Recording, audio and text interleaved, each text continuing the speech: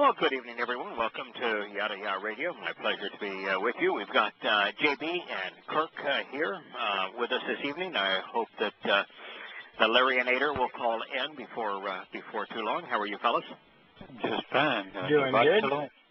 I'll Yeah, keep an eye on sleep the there, JB? call log and see if I see his name show up. Okay.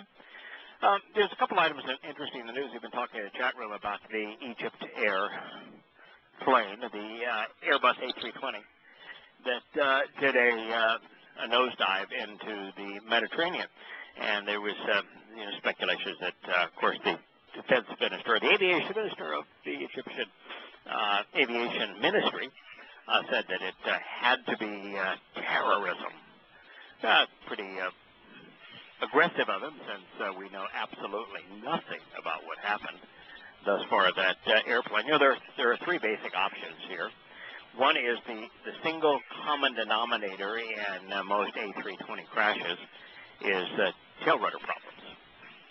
And uh, it's what has caused, has brought down three before it. And this airplane uh, veered 90 degrees uh, left at 37,000 feet and then did a 360 to the right the things that would cause that are a rudder malfunction. Uh, but, uh, you know, I don't know that. I just tell you that is, that up to this point, that's been the common denominator. Uh, the second option is, of course, pilot suicide. Uh, both uh, pilots uh, and the head of the flight crew were uh, named Mohammed. Uh, but the pilot uh, certainly was not a uh, was not a Muslim Brotherhood sympathizer. In fact, he posted articles in opposition to them and pro Sisi. Uh, to be pro Sisi, you have to be an absolute nincompoop. But nonetheless, he uh, he uh, did. Uh, so pilot suicide is not likely in this case, considering the um, the online presence of the pilot. Um, and uh, of course, that would leave you with uh, an act of terrorism. But uh, you know, that's boy, that is far fetched. First of all, there's no one who's claiming to have brought the airplane down. If it was the Muslim Brotherhood, if it was the Islamic State, they would have been all over it, like uh, a Muslim on terror. But there's no indication that they did so. And, and if you were a uh, going to bring an airplane down, wouldn't you try to do it in a way that would make a bigger splash, so to speak, that have an airplane simply fly, fall out of the sky for absolutely no reason in the mid of, middle of the Mediterranean Sea? So what do you think, uh, fellas? I seem pretty reasonable to me. I mean, uh, your uh, about your expertise on the uh, rudders and stuff, because I wouldn't have a clue. But uh, they, uh, uh, it would make sense they would try to blow it up where there's a bigger population if they were going to do that Yeah. as a terrorist. Right? Yeah, I can tell you one thing: that uh, Egyptian tourist industry, which you know I've been through Egypt, I've seen. Uh, I mean, everything that's worth seeing in Egypt was created uh, by the pharaohs in uh, in ancient Egypt, and the Muslims have simply destroyed the place ever since then. And now that I know Yahweh, I would never go there to uh, to see the the uh, religious heritage of ancient Egypt. And now that I know Islam, I would never go there because of Islam. But but the fact of the matter is that in Egypt, uh, tourism, which was their the lifeblood of their economy, uh, is uh, is shuttered. Um, after the the airplane was uh, destroyed that had the Russian tourists about uh, six nine months ago, um, there was just nobody going to Egypt. And you know, I mean, tell me, would you could you be in your right mind and board in a, an airplane flown by a Muslim? No. I, would, I wouldn't. No, no. No, not likely. No. No, it would be insane. Now, speaking of insane, okay, fellas, uh, I read an article that was published in the Washington Post yesterday. Uh, a comprehensive uh, review of federal documentation was just uh, concluded, and there is a new number one cause of, or number one expense in the uh, uh, nation's health care uh, budget. For years, the big three had been um, in this order. Number one had been accidents, primarily automobile accidents. Number two had been uh, heart uh, conditions, and number three, in terms of the big three most expensive health care costs in America, number three had been um, cancer. Mhm. Okay, so with those as the big three, uh, there is a new number one that is far and away the most expensive uh, healthcare item in America. What do you guys think it is? Doctor era hospitals disease. Pardon? Oh no, that's that's, stuff you get at the that's, that's the next that's the next thing we're going to talk about is uh, is the is what is the largest cause of death, and you've already you've already answered that question, so you've you've ruined that part of the uh, I'd of the show. I. No, I'm just uh, I'm just talking. What is the most expensive? What thing do we spend the most money on in terms of healthcare now in America? I gave you a three. Transgender operations. Nope, nope, nope, nope, nope. That's uh, despite Oh, what the on the about way. later ones in terms of having um, uh, bathrooms by uh, sexual preference. Uh, transgender Americans total less than one one hundredth of one percent That, of that's the a joke. I, I, I know. Yeah. It- it- I was kidding. Yes. I know you. What do you think? about Um, it? Medicine. Gosh, I don't know. Uh, medical insurance. Mm-mm. Number one cost. Biggest expense now. And Uh, American, legal uh, fees. Legal fees. Oh well. Nope, nope. Number one Huh? cost is uh, is uh, health care being provided to the mentally insane, the mentally disturbed, the mentally Oh, incompetent. Mental disorders. oh boy. Really? Sure. Why not? America's gotten to the point where mental disorders are far and away the single most expensive health care item. That's how far we've fallen. Well, you know the the people here and and uh, tell me about the Folsom Prison. The the amount of medicine. I mean, the amount of care and the cost of that care to the uh, to the prisoners is enormous. I mean, You know, they, I, everything they want, I, I everything used to have a jet, and, and I always had that jet uh, chartered because it defrayed the uh, the cost of owning the uh, the airplane. And uh, you know who the uh, the most frequent charter customer was of the jet, and who paid the most for it per hour? Uh, somebody in the government. Prison system. And that is because if you're a prisoner, you're not only afforded the best possible medical care, you're flown on a private jet to the best hospital there is anywhere in the country for your particular proclivity. Now. I'm going to tell you, if you were in prison for anything other than a drug charge, and if it's a drug charge, I'd just let you out. Uh, but uh, if you're in prison for anything else, uh, you know, rape, murder, pedophilia, whatever it might be, uh, and and you contract a uh, an ailment that requires requires very extensive medical care, you're just going to die. But no, that was they were they would charter the airplane for ungodly amounts of money and have large crews uh, uh, accompany the prisoner Yeah. to make certain that prisoner got the best possible health care. You know, the uh, the reason I think you know, I think it's, several fold that uh, mental conditions, mental disorders are the leading cause of health care down in America, and it's extraordinarily telling, is because of the fact that uh, that that the leading contributor uh, happens to be uh, post-traumatic stress syndrome. Uh, there are 650,000 uh, military and vets uh, that claim to have uh, PTSD, and they receive on average six thousand dollars a month in compensation, and they receive all manner of drugs and uh, and counsel. And to those that actually have the disorder, uh, the reason they would have it is because the United States has asked them to do things that are insane. You know, our invasion of Iraq was counterproductive. Was insane. Our invasion of Afghanistan was insane. Was counterproductive. Our bombing of Libya, insane. Our dealings with with the Syria, absolutely insane. So if you're asked to do something that's insane and you see people die doing something that is counterproductive, it's going to have an effect on you. So that is the uh, uh, it's the largest contributor. But uh, overall, uh, psychiatric drugs and psychiatric care is the single biggest cost in America. That tells you how far we have fallen. We have a wholly dysfunctional NASAM ability to be uh, rational. Uh, you were the one who's already guessed as to what is, because it's related, what is the uh, number one cause of death in America, and it used to be automobile accidents. And then it was uh, heart conditions, and then it was cancer. None. Now the number one, since we have socialized medicine, we've turned our our hospitals into um, into fledgling post offices. Yeah. Yeah, the number one cause of death in America is mistakes in hospitals. Mistakes. And and it doesn't necessarily mean that it has to be uh, somebody making a mistake in an operation. I mean, you get all No. these. Oh no, no. Step- the, step, the, you know, the minority of it whatever is the doctors. yeah. yeah, the minority I of it is mean, the doctors. Part of That's it has to be. Right. The doctors are a, are a tiny minority of it.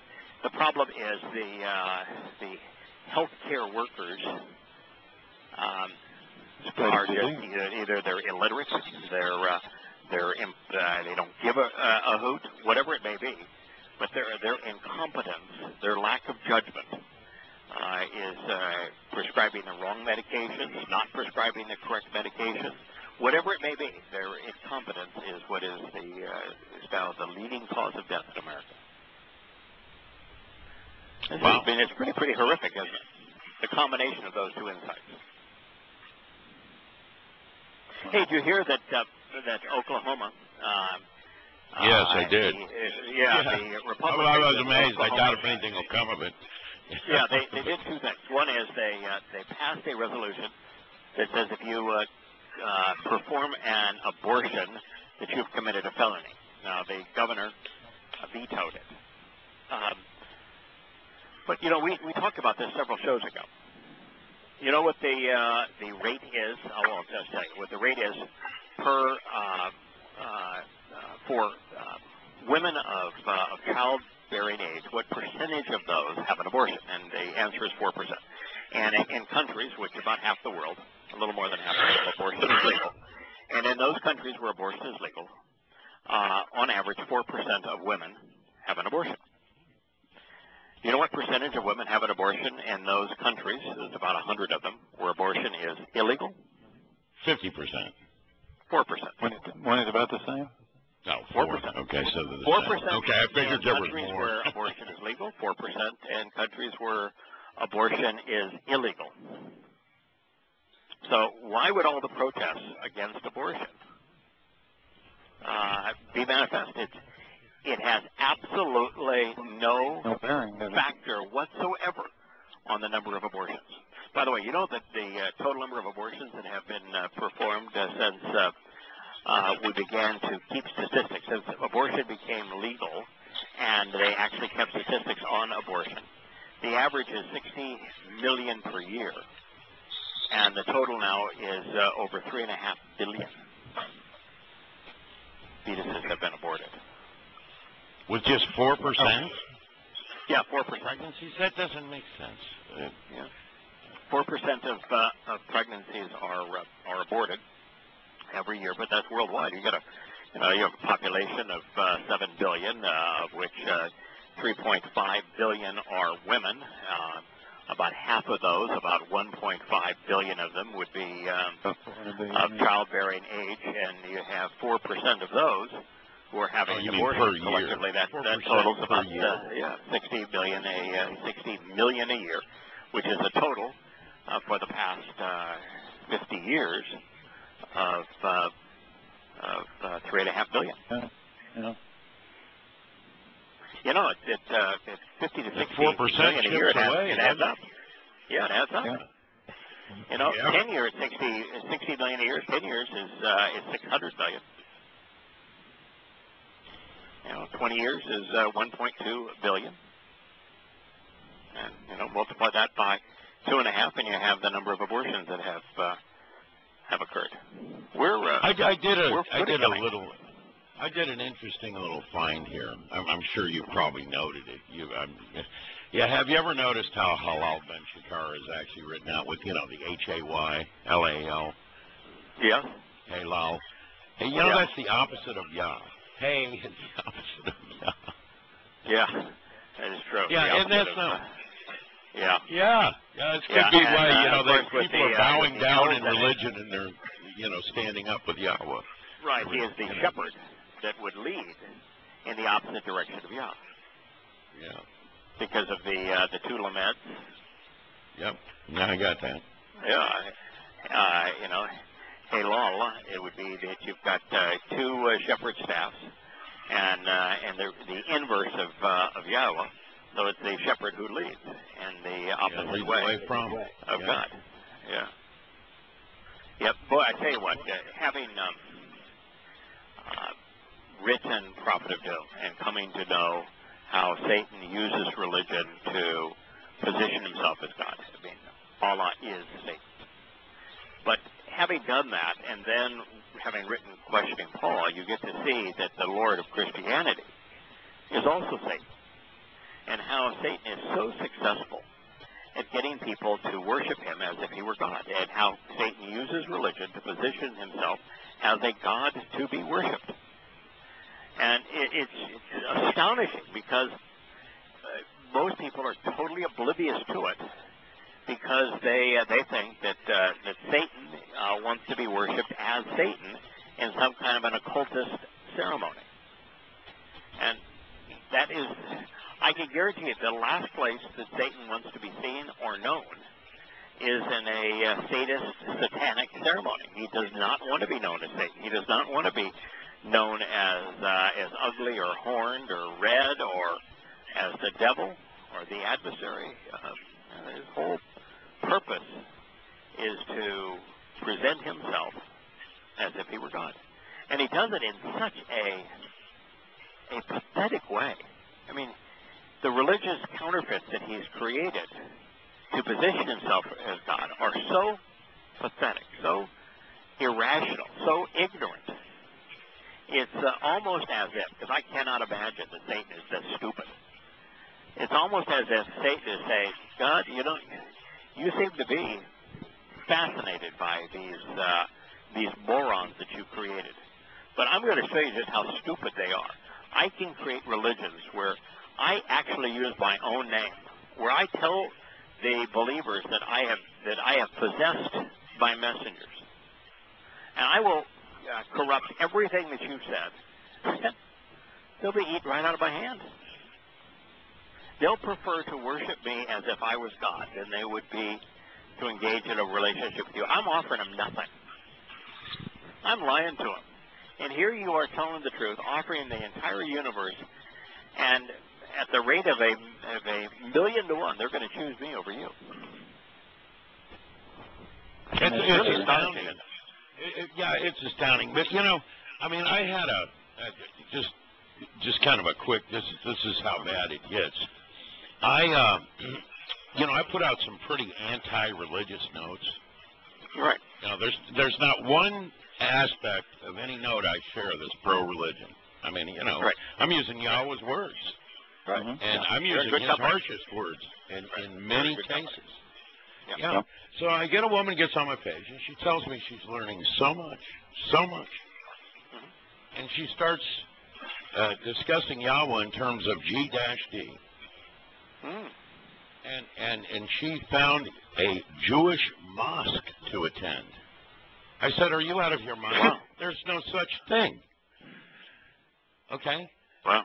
I, and I said, let, let me call you. I, I called her, and she went on a 100 miles an hour about how the Lord is calling her.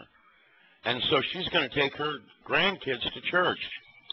And I And said, how anybody could read these notes I put out Right. and, and, and, and be and magnate towards Jewish A Jewish mosque mosque. or a church is beyond stupid. Yeah. And that's You what you deal means? with. You know what mosque means in uh, in Arabic? I really don't. I don't. Place of prostration. Well, yeah, I thought that's Place of prostration. And now imagine for a moment a God so insecure, God so uh, lacking that he would uh, so depraved that he would create a being to tell him how wonderful he was, create a being that's inferior to him to bow down to him. The whole concept of prostration to God is, is so incredibly demeaning, so insane right on its face. Well, I mean, who would even want to spend time with him unless you were, you know, just I'm afraid to die. Well, everybody dies a physical death. I mean, how stupid, you know? Uh, who would who would want to? I wouldn't want to. I wouldn't want to spend an eternity with a monster. Why like would you that. trust a God who is so insecure, so uh, lacking, that he would create a uh, an inferior being to worship him? Why would you trust him? Uh, I, I wouldn't. I, I wouldn't. I wouldn't want anything to do. He's a monster for starting. That'd be a monster. Yeah. Oh, a God that would say, "Love me, or I'm going to torture you forever in hell," would be a monster. You know, the the God of the Quran is a monster. The God of Christianity, or calling Christianity, is a monster. Sadistic. I mean, but the God of those religions is in fact Satan. You know, the God of Christianity is not just a monster. He's sort of like a Santa Claus type of monster. Yeah. In other words, I'll give you everything you want too. Or but you better love if, me, if, if you're, I'll if you're torture good, you I'll give you everything you want. If you're not good, I'm going to give you a coal because that Yeah, burns. Santa Claus. Yeah, just like uh, Santa Claus. If you're good, Yeah, whatever You know, that means. did, did, I don't did even God know what ever good means. once say, if you're good, I will give you uh, uh, a nice gift, and if you're bad, I'm going to give you coal that'll burn your britches? No. No, and, and by the way, she, she wrote this big thing up after I booted her on her own page about, is this any way to save souls? Yes. Know, my is. answer yes, to that is. is, Yes, I. I don't even. Absolutely. It- First of all, I don't even know how to save souls. That's not the business I'm in. I'm in the business of sharing Yahweh's words.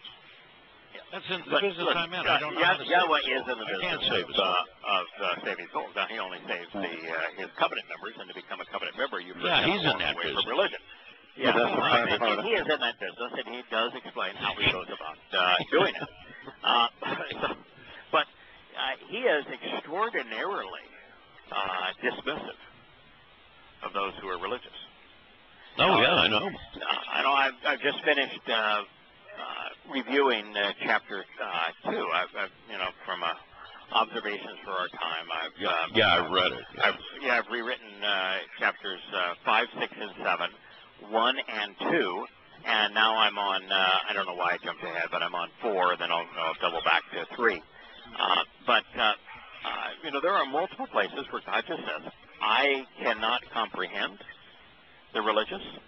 I can't endure being around the religious, and I can't save the religious." Uh, you know, that's that's pretty indicting. The religion is so moronic. I mean, I don't understand it anymore. God says, I, I, I don't understand it. I have no idea what would cause somebody to be religious. I don't comprehend it. I don't want to understand it. I don't want to be around anybody who is religious. And there's nothing I can do or say to save the religious. So with this woman, which is that any way to save souls? The woman, you say, your soul isn't salvageable. The reason I, I stopped spending time with you is your soul is not salvageable. It cannot be saved. So no, I'm not about this booting you. It has nothing to do with saving souls. It just uh, was an absolute waste of my time. You know, until you're willing to walk that my time from is religion. better spent elsewhere. Absolutely. I need to ask a question, Yeah. if I may. Uh, Sure. When you got, when you were, became real, real proficient at translating, and you knew you could trust what you were doing because you've gone through enough lexicons and so forth. Okay, I, I, I Uh, disagree with both of those two things, but all right. What? what Yeah. I Well, don't I think mean, I'm you- proficient. you- I don't think you I'm know what God's talking- you know what and I don't trust what I uh, I have uh, I am doing. I'm Well, I know, always you- suspect. Yeah. But you felt comfortable enough to write us about it, right? So you, I've uh, you I so you uh, got I've, I've found what Okay, you know- you know so consistent and so Right. compelling uh, that I couldn't help but share what I was learning, even as I was in the process of learning it. now Um, I, when I've I never I know, claimed I I've never claimed that my translations were uh, were uh, uh, perfect. Uh, it's just No, I'm, I'm not even saying they that. make I'm just saying they, they make you, get, you got the absolutely message. And, they make total sense to me. They uh, they're consistent with what God with His nature with His plan, and I find them absolutely fascinating. And so, um, uh, you know, I, I, I would say that uh, that they are probably better than any other, only because you know I approach it in a, in No a one way else that tries. yeah, that no one else even tries. Um, which is that I approach them from I got to know who Yahweh is. I got to know what He's offering, what He expects from uh, us, and and I approach every statement that He makes in a manner that that uh, that knowing who He is and what He's offering and what He expects in return. Uh, let's render this using uh, His words uh, in a manner that is consistent with uh, with His nature and with His proposal. Uh, Okay. I figure it- it's pretty hard to go pretty hard to go too far astray if you do that. Okay, now knowing knowing Okay. that, well, just at face value. Okay. When you go through and you read stuff, I, like I've been doing a lot lately, uh, and I'm, I'm going through these translations and I'm, I'm substituting things that I know are wrong, whether it's Yahweh's name or just the simple things. It's not even complicated stuff. You cannot find these guys who translate these, these guys who write these um, lexicons and so forth. It's so obvious that that what we discuss all the time is absolutely 100% true and that, that religion is 100% false. I mean, it's not even Right. it's not even close. And Religion how, is false. How is it? I Not only understand how I, I a it's didn't know this. it's just irrational. Yeah. But even with a little bit of perspective and a little bit of knowledge of, of what we're doing, you read through this stuff and you say, well, it says exactly that, and every every one of these Hebrew words say two or three that you know are wrong to begin with. Yeah. How can someone be a translator and write Yeah. these things and and have not seen it? Yeah. You know, one of the things that I have found. Uh, Well, it's comforts me- intentional. We know that. Well, no, it's yeah, intentional. Yeah, it is intentional. They're the ones that And, do the the way, my intentional things translations as people like us.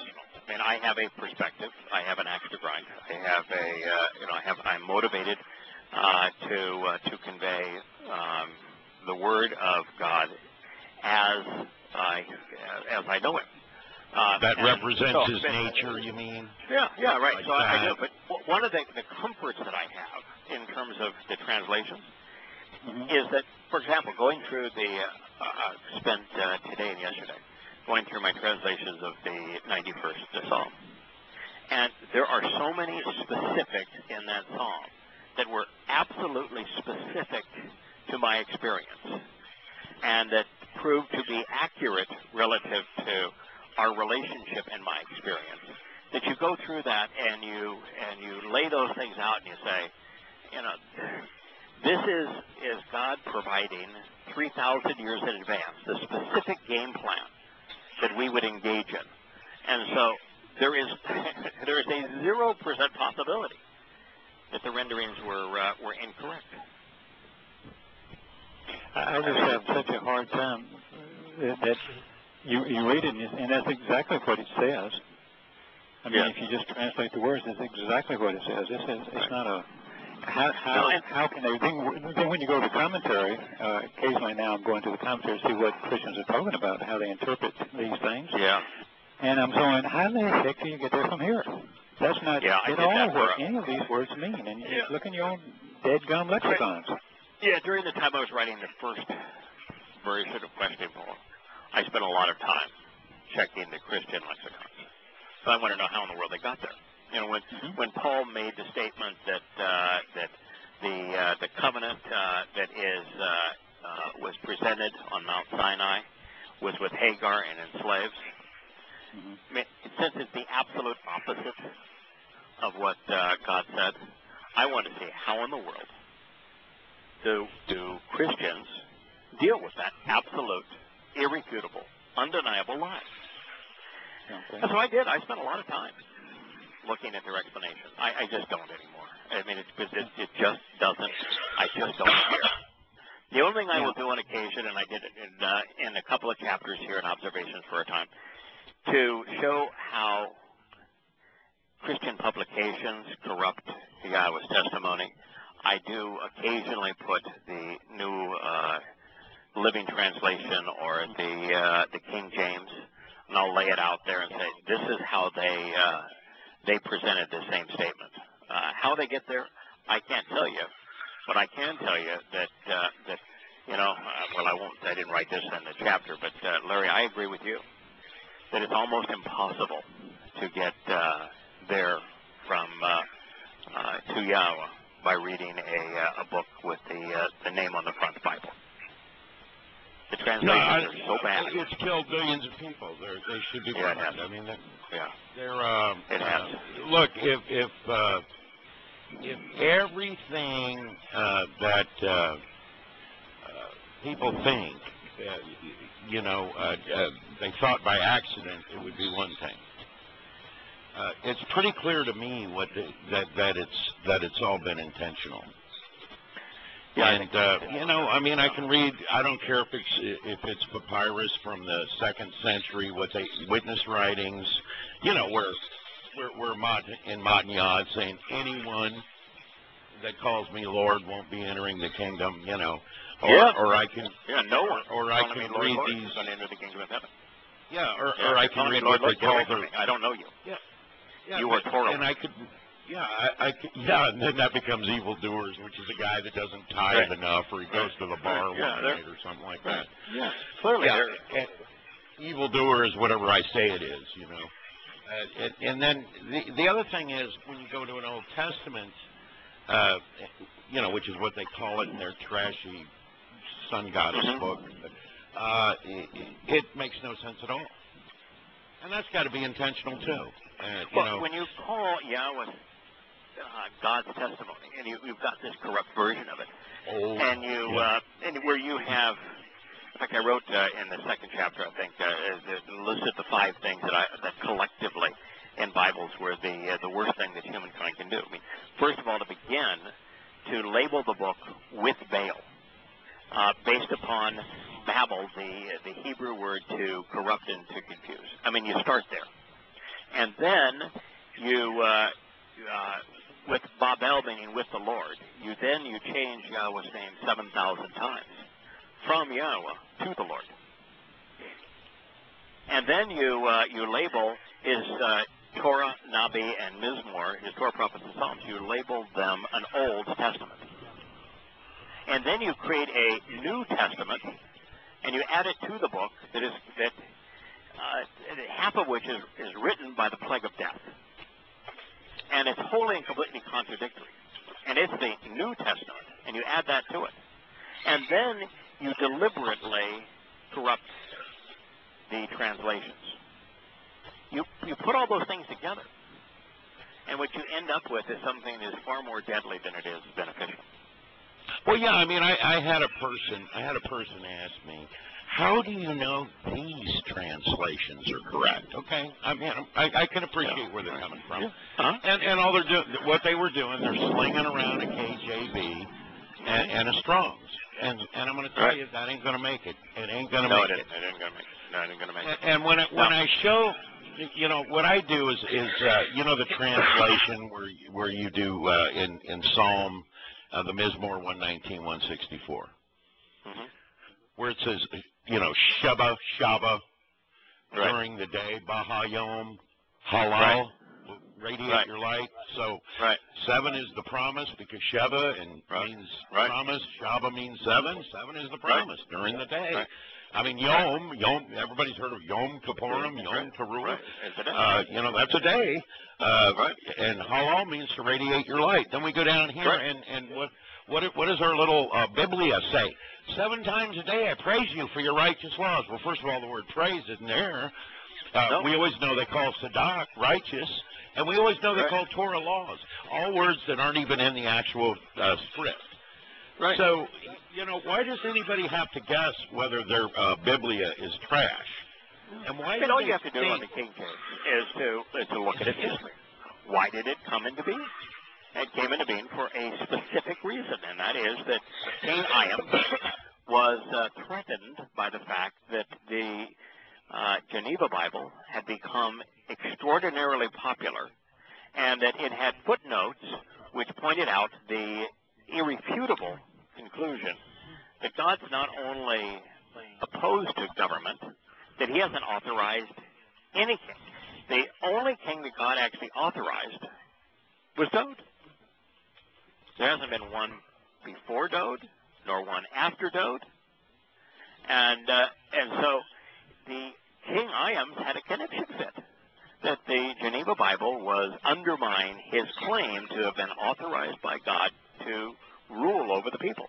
And so the King Iams, King James Bible, came into existence for a purely political reason.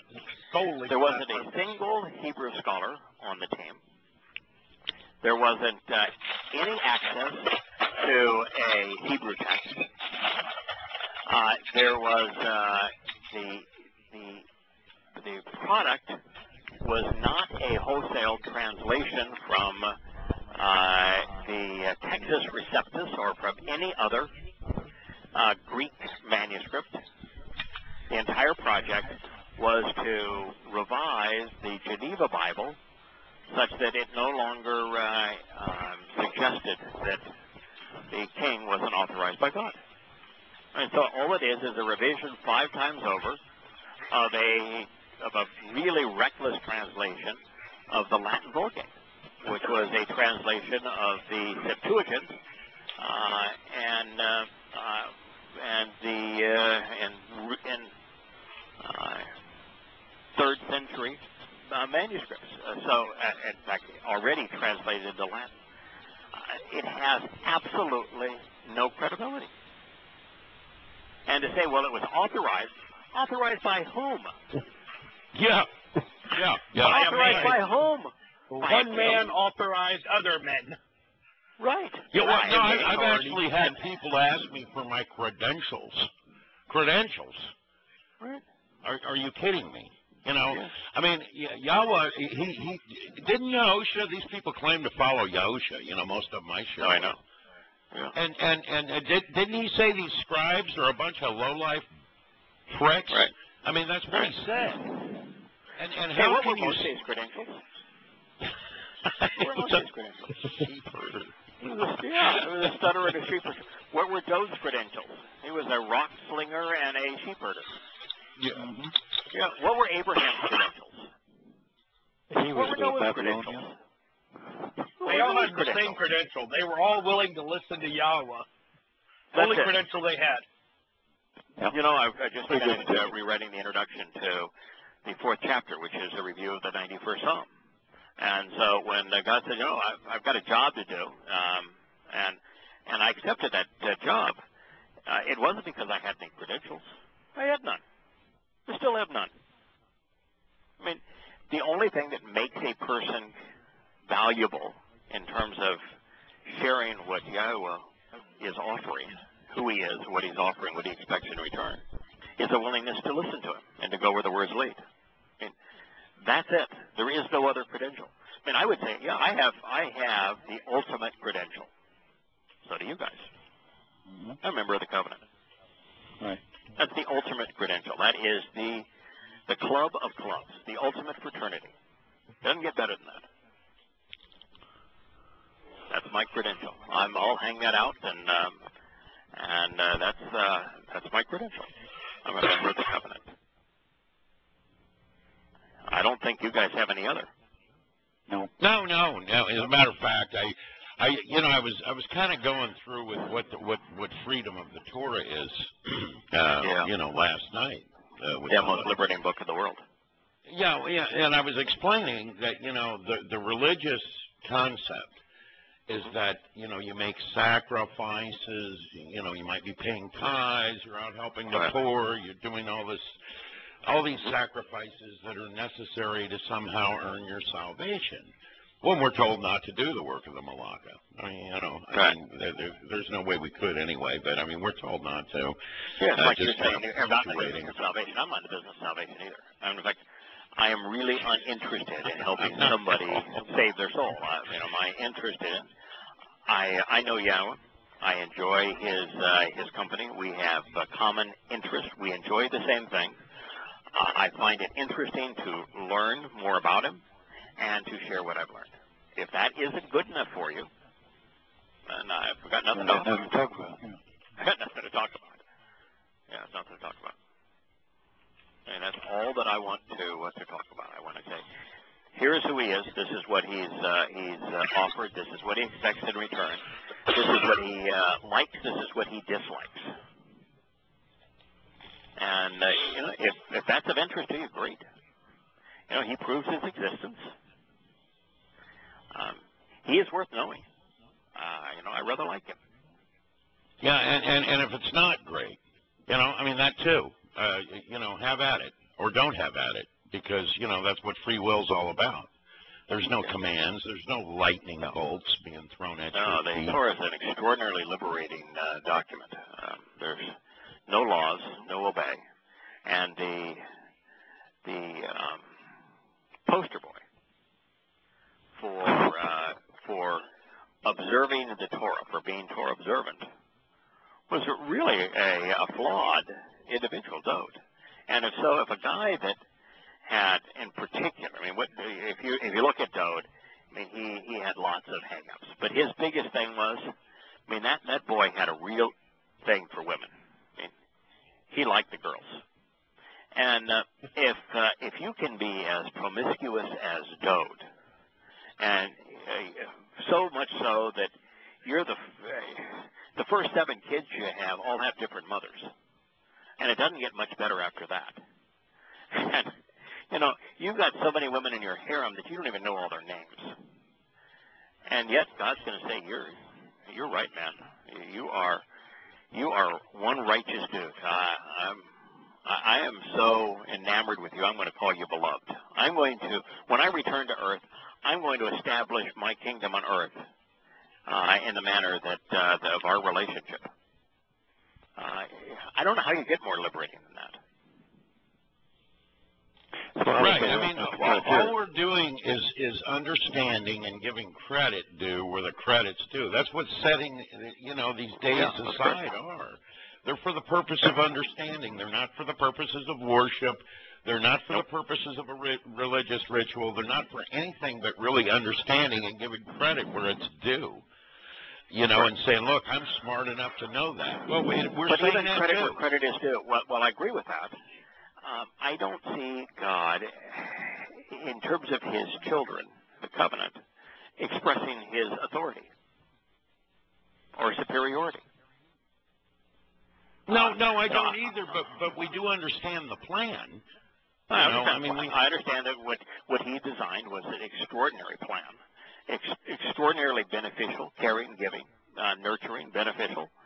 Um, but even as extraordinary as he is in terms of brilliance, in terms of generosity in the uh, the plan and what he is offering, um, I see him as extraordinarily approachable, um, down to earth, um, just a I, I see him more as someone you want to to spend time with because you share the same, um, you enjoy the same things. I enjoy what he enjoys, so I want to spend time with him. But it's not a, in a sense of awe. It's really just a very comfortable. This is my absolute favorite individual in the world and so I want to spend time because we we enjoy the same things. So it's uh, you know I was just I was rewriting the uh, the introduction to as I said before, and and when Yahweh first approached, I had an aversion to authority. I still have an aversion to authority.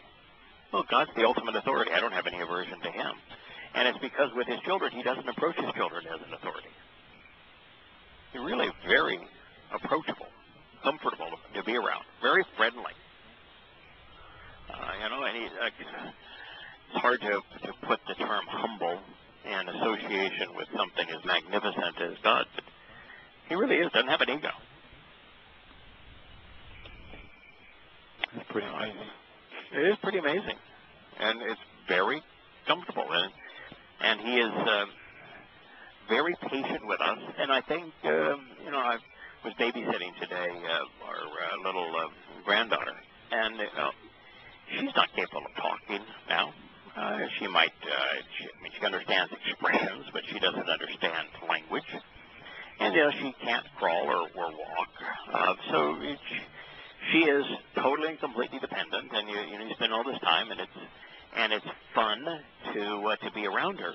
But you can't have very high expectations. I mean, she's, her uh, attention span is about that of a goldfish. Um, uh, and you know, she simply responds to very simple kinds of things like expressions and tone of uh, voice. But you know, how different really is that between us and Yahweh? And yet he's patient and entertained by it, just as I was entertained and love our little granddaughter. You know, can't wait for the uh, the next uh, experience. Uh, I think it's it's quite similar, uh, and you know, you can't be view yourself as high and mighty and enjoy that kind of experience. You really have to, to just get down to what's important, what's enjoyable. And and that explains what's enjoyable and what's important to Yahweh. He has something he wants to share, and he wants to share it with us. And he wants to spend time doing the same thing for us as I was doing with my little granddaughter.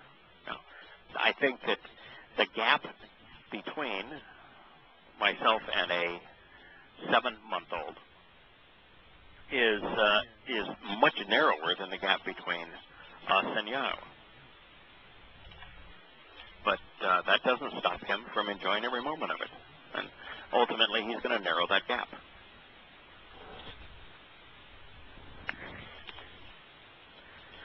So it is a marvelous. Um, I mean, it's, it's, I, I guess the thing that is so um, perplexing to me is when you consider just how good God is, just how extraordinary He is, how approachable He is, how generous His offer is, how little He expects of us, and how much He's willing to give us, how clear and consistent He's been in His testimony, and how obvious it is that man's alternatives in politics and religion and militarism are counterproductive, irrational, moronic.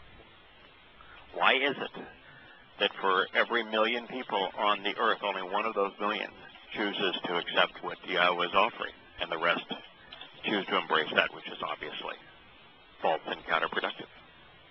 Well, you know, you know, they have so many physical ideas about it, for one thing, which is really hypocritical. You know, if you know when you went to churches, used to hear them talk. Well, the Jews were looking for a physical Messiah, and he's a spiritual Messiah, right? I mean, that's what you used to hear.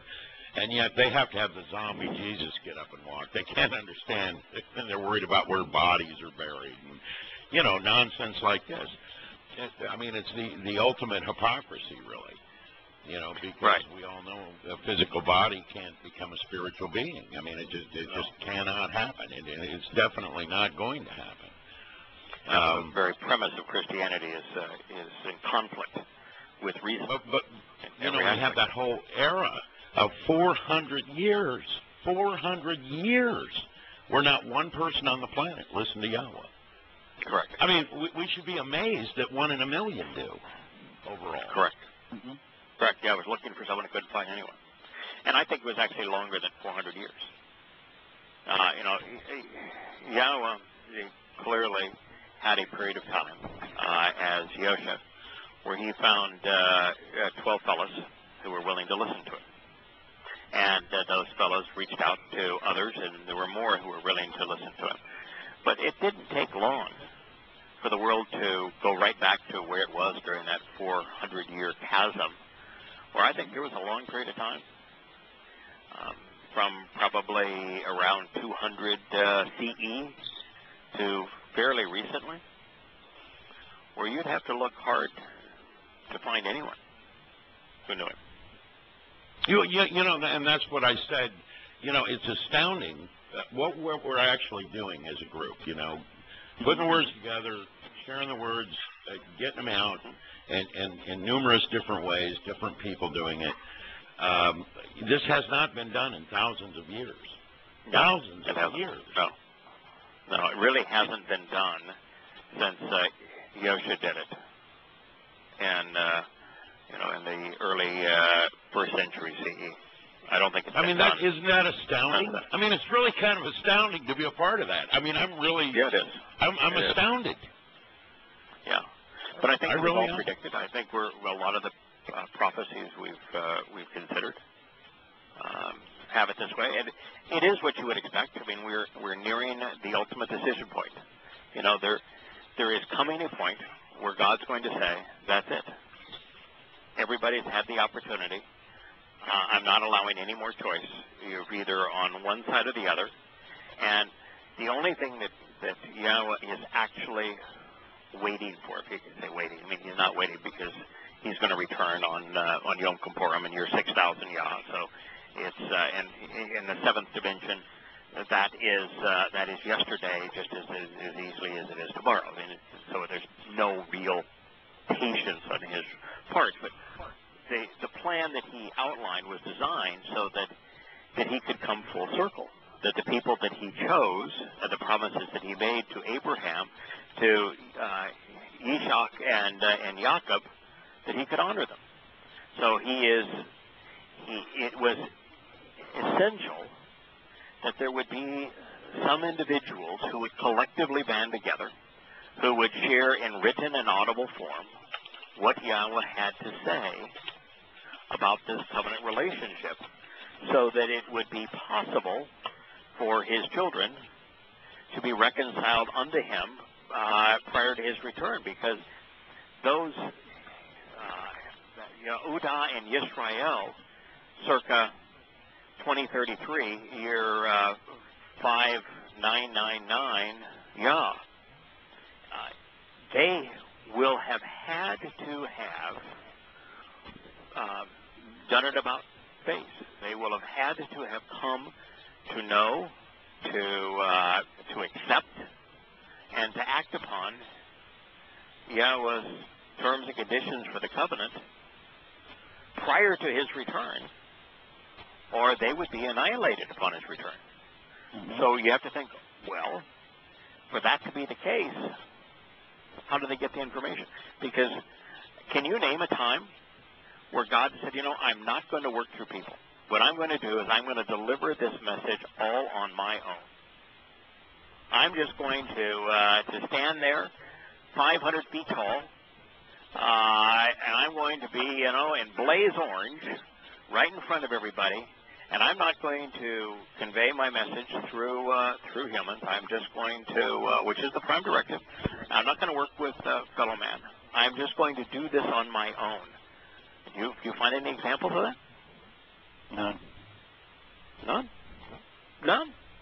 And so, uh, it was incumbent upon Yahweh, based upon His style, His nature, His character, His purpose, to uh, to find someone, find people, individuals who were willing to listen to it, who were willing to investigate what he had to say and to share it. Because his plan is to uh, reconcile his covenant relationship with Yahudah and Yisrael in year 6,000 Yah, and for that to occur, Either God has to deliver that message himself, or he has to have individuals take the time to correctly convey what he has promised, and then to share that in a way that his children can read it. Wow. Those are it. And so we have been offered that distinction, that opportunity. Now, you know, that's not you know, I, as I wrote in this chapter, because I was I'm rewriting chapter four, that's not meant to be a, uh, a an honor. It's not a reward. It's not a trophy. It's not something to say, ho ho ho, aren't we special? No. the bottom line is that not one of us is qualified. Not one of us is uh, is perfect. Not one of us uh, has earned or deserves this distinction. The only reasons we have it are twofold. No one else was willing, and we were willing. Now that's, a, that's a big part of it, is free will. We were willing, and more importantly, we were um, uh, were also willing to go where His words led, no matter what? No matter what. Things, yeah, no matter what. No matter what. Yeah, and who cares? I mean, all we were doing was trampling over religious precepts that were lies anyway. Who cares? I mean, really. At the time that it began, it was troubling to me. and I think that anybody who is new to the covenant, it is troubling to them. It's a bit disorienting. It's a bit isolating. And once you have been there, it becomes liberating and enlightening. And so, you know, you were correct. Now, knowing what we gave up and how foul it is, uh, it's like taking a shower. You know, I, when I take a shower, the dirt that is uh, that I am washing away isn't something that that has any benefit. It's good to be gone. It's good to be uh, to rid of it. That's the same thing about religion and politics. It was good to be uh, to be rid of it. But um, we were given this opportunity because we were not only willing to take it, but we were willing to go where the words led. And as for being willing to share them, I actually don't think there is any other option. We're not compelled to share them. We're not forced to show them. We're, we don't feel an obligation to share them. You just can't help it. I mean, it's just literally, you know, you know it's like uh, having a child. You, if you're a good parent, you want to share everything you know and have learned and experienced with your child. You know, if you if you find something that is extraordinary, you actually gain, you benefit, you grow, you're enriched by sharing it. So it may be because you know, it may be because I'm a teacher that I just uh, when you hear something, you go, "Did you know about this?" Because when I read yada yada, I'd go around showing them how to spell yellow. Yeah. and, and I couldn't help it. I mean, I didn't do it because because there was some place in yada right. yada that says go do this. I just said, "This is really cool." Did you know this? This is really cool. Yeah, it's really cool. Every everything you learn is exciting. It's uh, it's cool. It's fun. It's uh, uh, it's rewarding. It's the uh, well, you know, one of the thing you can do. One, one of the things I was talking about there is, is uh, you know, we don't have sacrifices to make. He doesn't ask for our sacrifice. And not at all. No, sacrifice. You know, today, for example, uh, our good friend Scott uh, needed to get out of Dodge. You know, there's just some days where you're just not comfortable, and something somebody says, something, who knows what it was. I, I didn't press him on it, but you know, he said, oh, "I'm going to stay here for the uh, the observation show," but uh, you know, just today is it's just not a great day. And so what I told Scott is, get out of there. Just go. We'll do it another day. Uh, the the approach that I think you have to have to what we're doing is if it's not fun, if you don't want to do it because you enjoy doing it, then don't do it. And you know, and if there's days that, uh, and there's sometimes there are, life gets in the way, and it's a a burden for whatever reason. Do it another day. God, God is not demanding of us. He's not saying, boy, you know, here there was nobody else here. I spent all this time with you. I gave you this opportunity, and and you're a derelict uh, on the job. No, that's not his approach at all. You know, I spent several hours today playing Grandpa. I did not feel guilty that uh, I wasn't completing uh, chapter four. No, it's part of life and part of living. It's this is not a burdensome job. No, no, it's not. It's actually it's it's, it's the best part of life. But you know what I was going to say is there, there's another facet to it. It's not just that we're not required to make sacrifices because we're not. No, we're not. the, the, not at all. Uh, no. The interesting thing to me is that you know when we start getting into the doled implement part of it, you know the Dowds, the yeah. Abrahams, right, and, dirty, and, dulled and, implement, and, and who, whoever, uh, you know the Moshe. Uh, one thing we do know, uh, what, what, what we do know is that we don't have to be perfect. We can be no. the flawed implement. No. This is no, all the fact, freedom we want like the, because uh, the rest of the world runs around with a PR man in a movie. Yeah. Yeah. You, you, you the, know, uh, uh, Yahweh, you know, Yahweh only has two uh, two conjugations, uh, two tenses in the sense of of uh, verbs. There's the perfect and the imperfect. And uh, Yeah. Yahweh's entire lexicon is designed to perfect the imperfect. that's to a good point. imperfect I never thought of that. Yeah, I never Right. even thought of that. That's Right. right. And you know, uh, the imperfect says that that's our ongoing nature, our habitual nature. Well, it, the perfect is it's complete and, and totally done. He perfects the imperfect. I mean, just the, the con- conjugations in Hebrew describe the entire plan. The Torah exists to perfect the imperfect. Isn't that amazing? yeah. I, I mean, no, that's quite that's quite an insight, actually. But yeah, that's right. You know, Yeah, I was yeah. I was constantly you know struggling with you know why were so many things written in the imperfect and you start imperfect well that means flawed well why would God's ter- uh, terminology convey something that's flawed imperfect right Mhm. and the imperfect is used far more than the perfect in uh, in Hebrew in terms of shaping the uh, the verbs it just dawned on me. It like this last week. the whole purpose is to perfect the imperfect. It, the Torah was written, God's testimony was written on behalf of the imperfect to make us perfect. That's the whole purpose of the whole thing. Of course, yeah, there's like imperfect, 20 million because ways that's, that's who he's talking to. is just another one. Yeah, I, I'm hearing that. Really. Yeah, that's who he's talking to. Is uh, and and of course, the very fact that there's a perfect and imperfect, and that uh, that almost all human behaviors are written in the imperfect, uh, it tells you that the the Pauline myth that the Torah is a set of laws, and if you're guilty of violating one of them, you have been condemned by all of them. That's the exact opposite of the uh, of the language itself. And the language says, no, I'm, I'm writing this to the imperfect for the purpose of perfecting you. That's the astounding. Yeah, I mean that's an You know, astounding insight, and it's something nobody else has ever said. I've never heard this before, but that's right.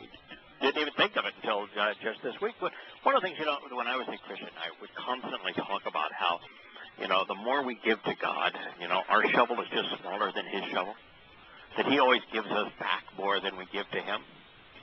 I'm thinking, know, now that we're part of the covenant, I, re- I like to refer to myself as a dented and flawed implement because, uh, you know, it's a dented and flawed implement used being used in a perfect hand. But I ain't shoveling anything His way. No, no, you're not. You don't have to. I'm not- yeah, there's, I'm not there's nothing shoveling anything His way. Yeah. And I don't. I, don't I mean, if you were paying a tithe, if you were paying a tithe, you'd be outside the Torah. That's You'd right. be screwing up if you were Right. doing that. Yeah, yeah. God's real clear. Can't can't buy him. Can't buy his uh, his uh, his love. Uh, Well, yeah, I mean, I mean, tithe was never I'm- money. It I'm was always offering- food. It was in a offering store. God is It doesn't exist. that's all I'm offering is companionship. Mm-hmm. Uh, no. you know, this idea that you know, when somebody would write and say, "I want to thank you for you know your dedication and uh, and and uh, all the work that you do in providing these translations," I'm not giving that to God. Uh, God gets absolutely no benefit whatsoever by the time that I spend uh, studying His testimony. I get the benefit. Mhm. Benefit's Oh, all mine. Yeah, it's all mine. I I mean, eh, you think that he gained something by me telling him what he said? What is he I he think it missing? makes him happy. I am ready to smile to his face. That's a way to put it. But I think he wants us trumpeting his But words. he and likes Here's why. companionship, but I mean, He yeah, knows. He, enjo- I, I, I, he enjoys it, but is, but is he? Am I giving him anything by uh, by uh, uh, translating and sharing his words? No, I'm not giving him. Yes. anything. Yes. I'm Well, yes. in a something way, myself. you know, your relationship with him grows, and he grows through that relationship. Oh, what- So Well, yes. That's but what you that's give him. But, but, It's relationship. That's it. You know, That's as I was and it's not just a was with relationship with you. Yeah, I was It's dealing not with the just end a of the, relationship uh, of the 91st Psalm. And, Yeah, but it's and not uh, just again, a God was relationship explaining with you, pal. why.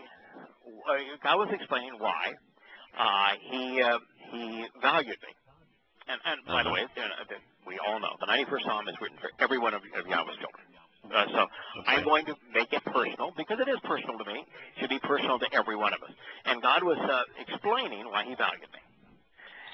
And you know what the number one reason why He well, it was two reasons he, he had, and I'm going to share both reasons. But one of the two reasons is because we You, enjoyed you the same things. to him. You No, we enjoyed him. the same things. Well, okay. Yeah. Yeah, he didn't. He actually didn't say. I mean, he he has two things that he says. Is the reason that that he uh, he valued our uh, our relationship, and one of the two is that um, we enjoy the same things. We enjoy learning. We enjoy experiencing things together. So we enjoy the same things. Uh, you know, when you pick your friends, don't you pick your friends based upon common interests? Mhm. We enjoy the same things. The uh, the second is, and I and I I rewrote this translation because uh, it was important to get the uh, the verb tenses conveyed properly in English, knowing that that I have the full range of opportunities uh, in English because the Hebrew affords, you know, an, a verb that is not constrained by time. And part of it was, and of course this was Yada, my Shem. So, uh, and and so what I recognized at the time that he shared that with me, I didn't know what his name was. But it, if you write it correctly, it's the other reason that uh, that uh, I was important to to him is that he said he's going to come to know my name. He's going to literally understand and be able to properly convey my name. And then he's going to do it. Now, th- that, I mean, God wrote his name 7,000 times in the single most frequently highly published document of all time. The Torah, Prophets, Nothing, nothing in human history has been published as frequently as that, and he wrote his name 7,000 times in it. And, uh, and it's, there's only 22 letters, and all four letters in his name are, uh, are vowels, and they are amongst the most common letters in the Hebrew language. You wouldn't think that would be a big deal. But I'm going to tell you, before we came to systematically understand Yada, Yahweh, there wasn't anybody out there conveying his name. Now there are a bunch of people out there. You can you know, go online, you'll find hundreds, if not thousands, of sites with Yahweh. But, um, you know, that was a big deal. Big deal to God. It was a big enough deal to God that God uh, said, you know, from my perspective, you're important. That's pretty cool. Yeah. Now, I'm not important among men, but I'm important to God for that reason. That's pretty good. I'll take that any day. You know, it doesn't mean it doesn't mean diddly squat to my dog, but uh, it, uh, it it means something to you.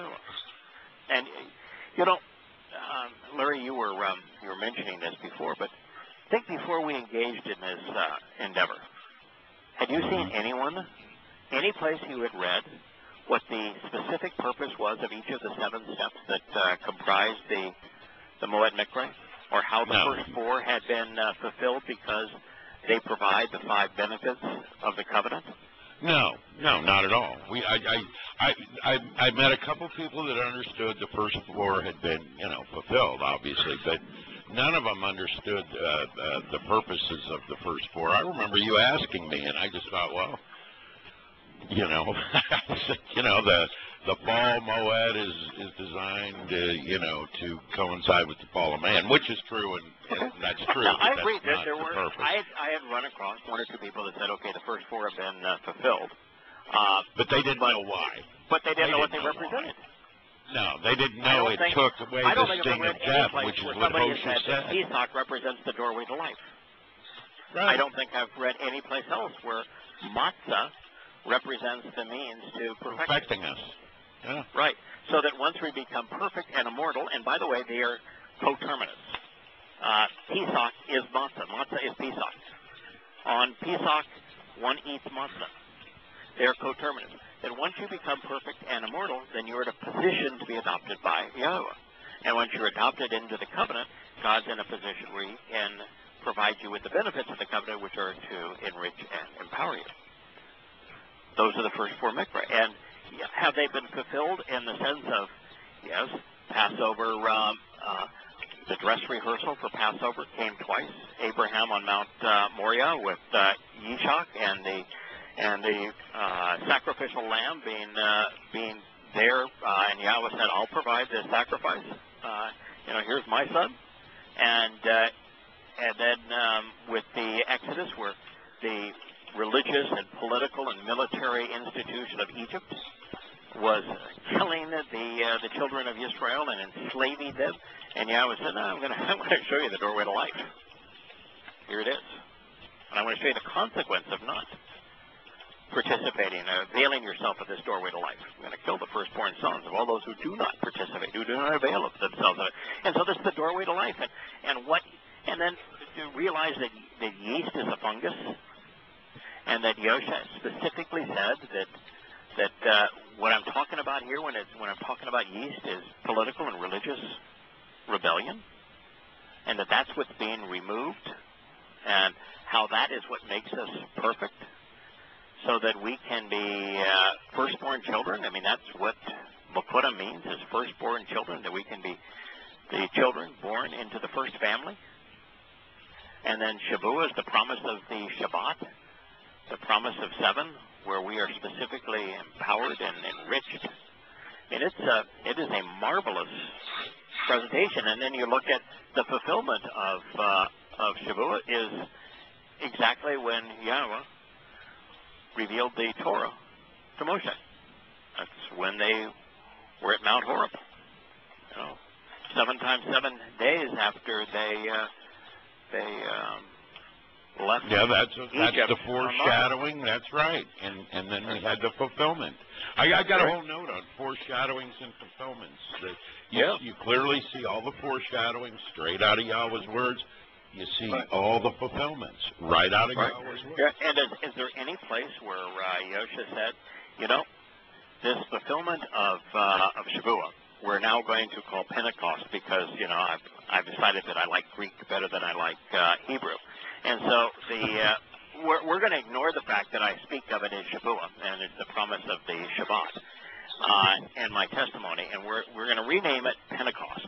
And then, uh, because you know, I just really love this uh, pagan language of uh, of Greek, and then uh, what we're going to do is we're saying, you know, it has nothing to do with uh, being em- empowered and enriched. It's going to be the birth of the church. Or did uh, when they uh, when they uh, celebrated the uh, Shavua was instead the benefit of Shavua that the that those who had availed themselves of Pesach, Matzah, and Bakurim were now empowered and enriched with the testimony of Yahweh so that they could share what they had come to know with the world. Isn't that what, what the, Yeah. even the eyewitness accounts say happened? Oh, yeah, yeah. No comment. Mm-hmm. yeah. And, you know, they became the living embodiment of Teruah. Right.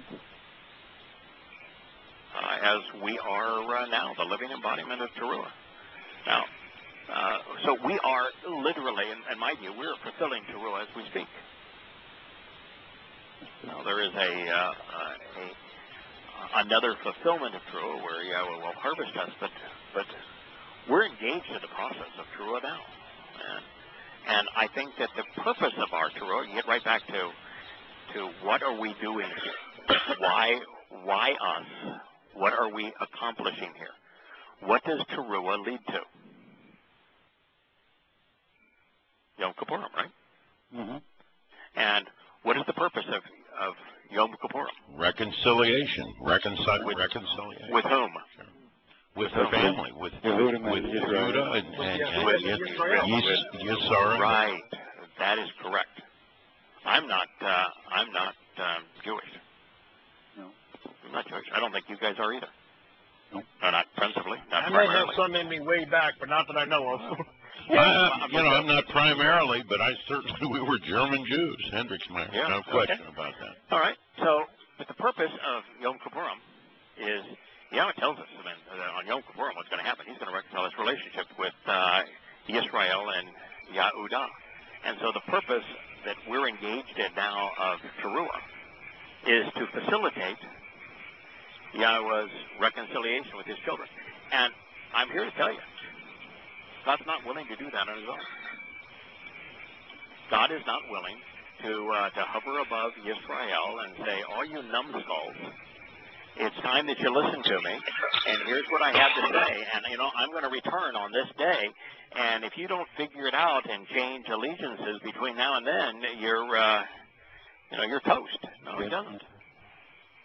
No, there, no. There's a, I did a thing on free will this week, and I, I said, you know, uh, you know, w- one of the things about uh, calling uh, mitzvah commands, uh, you know, you had brought up that uh, you know he's asking you to seriously consider, and I, I, I Right. that's that's that's that's that's a good insight. So I, I used Right. that. But I Right. said further than that, nobody has ever thrown lightning bolts at my feet and told me to do anything. Hey, have Because you I'm ever a been creature told, of uh, free will. That, uh, that you, you ever been told that it's your responsibility to read the U.S. tax code? yeah. yeah, right? Sure. Huh? Yeah. Sure, I got three with that, right? Lifetimes. Right. Yeah, right. In fact, um, you're a Yeah, we U.S. citizen. commit Have you- perjury Have every ever year been and told say that that we're you in need to compliance read with the U.S. Constitution? You ever What- been what told did you you have to read it? You ever been told that Uh, you have to I- read the U.S. Constitution? No, no, I haven't No. actually. No, I you've never been told my you have to read the the U.S. tax time code, as a but kid. right, but you're expected to comply with it, aren't you? That's right. Yeah. Both. You're you're expected to comply with it. My leaders don't have to. Right. So, but but you've never been given an instruction by your government that you should shamar. Nope. Closely examine and carefully consider these uh, these documents.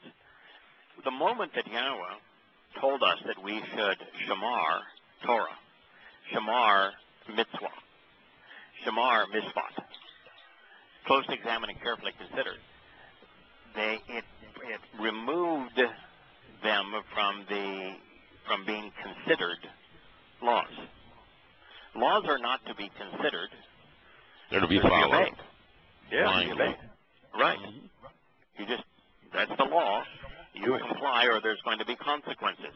It has nothing to do. Do you, you know, if you go to the the judge, you know, let's say that you uh, you did not properly obey the uh, the law of uh, of uh, 25 miles an hour in the school zone, and uh, you were going 50, and you go to the judge and you say, you know, judge, I have um, closely examined and carefully considered the uh, the law pertaining to the speed in a uh, in a school zone, and based upon my analysis of that law and those who compose that law and those that it uh, it benefits and restricts, it's it's my interpretation that uh, my going 50 was uh, was actually a, uh, a reasonable expression of, of my interpretation of that law. How is that going to work for you in front of that judge? Not going to work. Not going to work.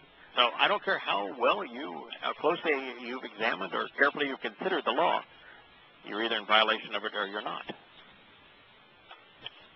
Now, Yahweh's instructions. Of course, that's why they got to have Shamar obey or Shema obey. They they have to have it like that because then then you're obeying a command. You know, I've had people tell me that. I, I had one guy tell me, well, you know, and, and this is, you know, he was he he, he was a pro, he, he was a subscriber to Dante's Hell. Um, you know, which I find really stupid. Because, you know, how, how do you burn a, a, a, a spiritual being? I mean, I, I don't even know how that works. But And, and how you know, can hell be a lightless place? And uh, and you're going to and uh, have fire, Have fire. at the same time. Yeah, I, I agree. Yeah, but they don't consider that part. They, of course, they don't even think that part.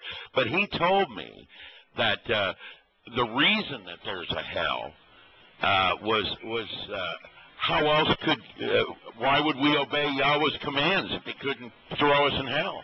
I mean, this guy really thought he was part of a Wow. a, a Wow. deep thinking process there. And I said, Wow. man, you, you- I said, you learn that shit in Sunday school? I mean, really, that's deep, man. You, Yeah. you ought to go back to the Baptist church and teach for a while. I mean, I am inspired by his instructions. I am enlightened by his teaching. I've Yeah. grown by uh, by his guidance. Um, I um, observe his testimony because I find it rewarding. That's why I do it.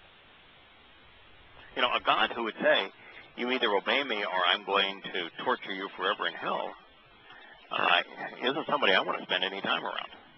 It would be a monster. No, clearly. Uh, I mean, yeah. straight up. Straight up Straight monster. Yeah, it. yeah. Yep. It's amazing that people can't think their way uh, through the process.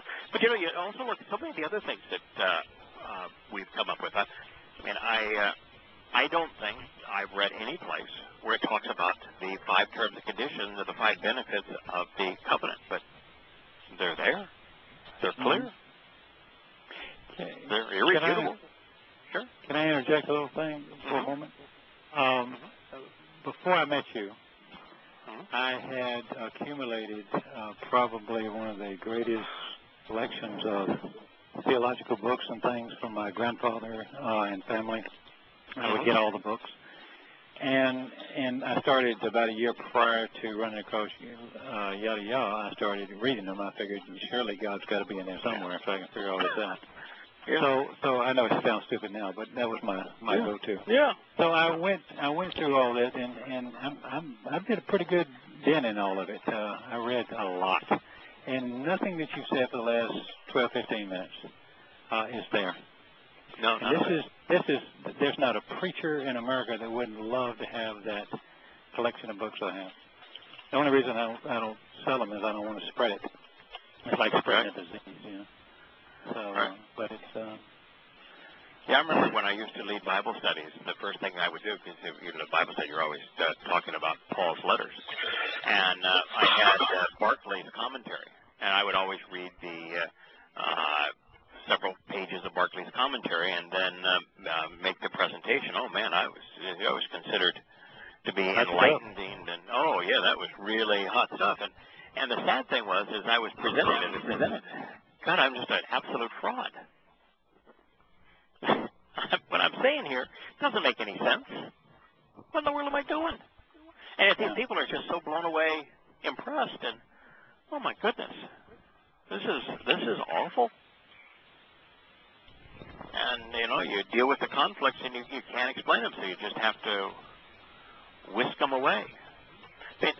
For example, how many places have you uh, heard that the reality is that there was no bodily resurrection? That A, God did not die, and there was no bodily resurrection, and that. Well, I, no, I think we, we uh, that was it. We that was it. We, uh, we you figured that one out, and we've spread that. I mean, I've got three notes on just that. You yeah. know. How, how do you fulfill three days when you're dead in a tomb, for one thing? You know, going back to right. the Cardia as it was right. written. Right. Yeah, the and heart of the fulfilling the three Moed Mikra, you can't be dead while you're doing it. And in the right. Psalm, it clearly says, "You did not give me over to death." And and, right. and it describes something far worse than being crucified, as a matter of Right. fact. Right. Yeah. You know? Why would it, why would the even the eyewitness accounts have, "My God, my God, why have you forsaken me?" If in fact God died. Mm-hmm. Yeah, exactly. Well, it's all very logical. The first time somebody puts it, like, like when you write it for the first time, and, and I read it for the first time, you go, uh, wow. It took me about wow. two weeks to say, uh, all right, I'm not going to say Lord anymore, and I'm never going to call myself a Christian. I'm not going to do this. Right. I'm, right. I want Abraham's deal. That was it. Right. You know, in the uh, in these uh, volumes you're writing right now that are that are uh, in opposition to the whore of Babylon, the whore of Babylon and Baal are one and the same. Mm-hmm. And Baal means Lord. That's just what it means. And Satan is the Lord. Yeah. Uh, and it's so obvious. It's amazing that that you know it's all these things we're talking about. Oh, that's you know. By the way, that's that's one of the uh, uh, corruptions we were showing that somebody thrown up there in in UT is that uh, uh, Baal is a symbol for God. Strong said so. Strong right. says so. Right. Yeah. Well, it is. Ah. it is. Baal is the symbol of the God of Christianity. Their God.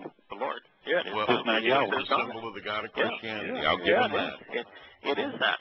And uh, and then you, you you look at something like Bible, and you know we've always uh, just said, well, Bible is based upon uh, uh, uh, Biblos, and Biblos is the uh, is Oh, It a is.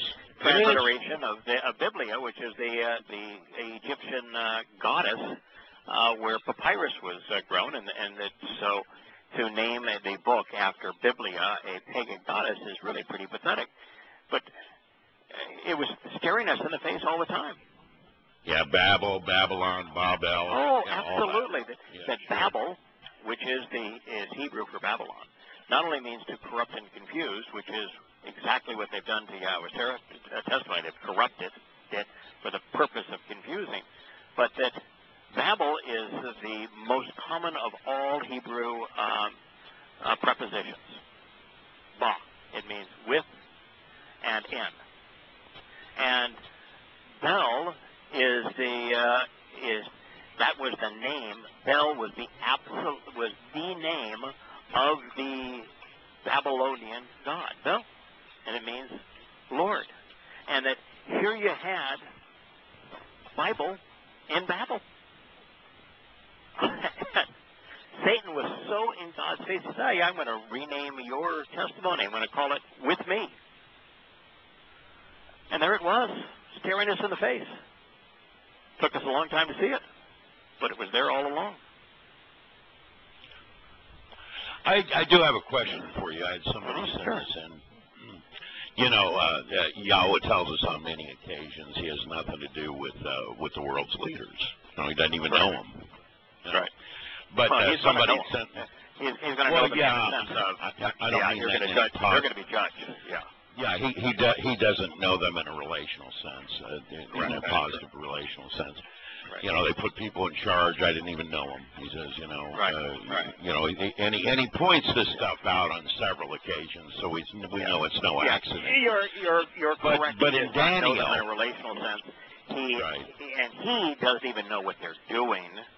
Uh, but he has his malak for keeping uh, tabs on what they're doing because he's going to have his malak Right. try But in- and in- convict them. Right. Yeah, but here's the question: in Daniel two two, it, it, it yeah, you I'm sure you've probably been over this. He changes times and seasons. He dispossesses kings and raises others up. Um, I'm fairly sure that, that that is not what we're talking about here. He's not putting people in positions of powers. Uh, You know, I mean, I guess dispossessing kings, he could have had Dowd, you know, wipe out kings, you know, other kingdoms. Uh, and he could have raised uh, Dowd up. I mean, this might have been on an occasion or two, but uh, this certainly Yeah. doesn't mean he's running the political system worldwide. You know. No, uh, uh, Dowd is not running a political system worldwide. Now, the Towrahless one is definitely going to change the uh, the times. He's going to impose Christianity. He's going to impose Sunday worship. Uh, Mhm. He's going to impose Christmas and Easter and uh, and Christian holidays. And so he's going to do what Rome attempted to do, which is to mandate it worldwide that you uh, acquiesce to uh, to Christianity. That's that is what he is going to do. So hmm for when Yahweh returns and he sets up the kingdom of Dowd, Yahweh's going to have to change them back to uh, his original plan. So that we'll be back on uh, Shabbat and back on on Pesach Matzah. Uh, uh, So you think that's Uh, what we're talking about here? yeah. And, correct if you look at Dowd, if you look at Dowd, um, uh, Israel at that time uh, was practicing the Babylonian religion.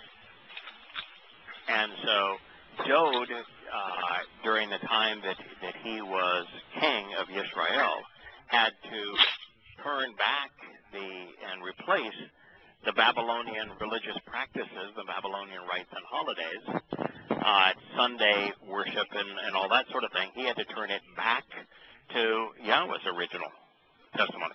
I mean, God's constantly using shub, turn back, return.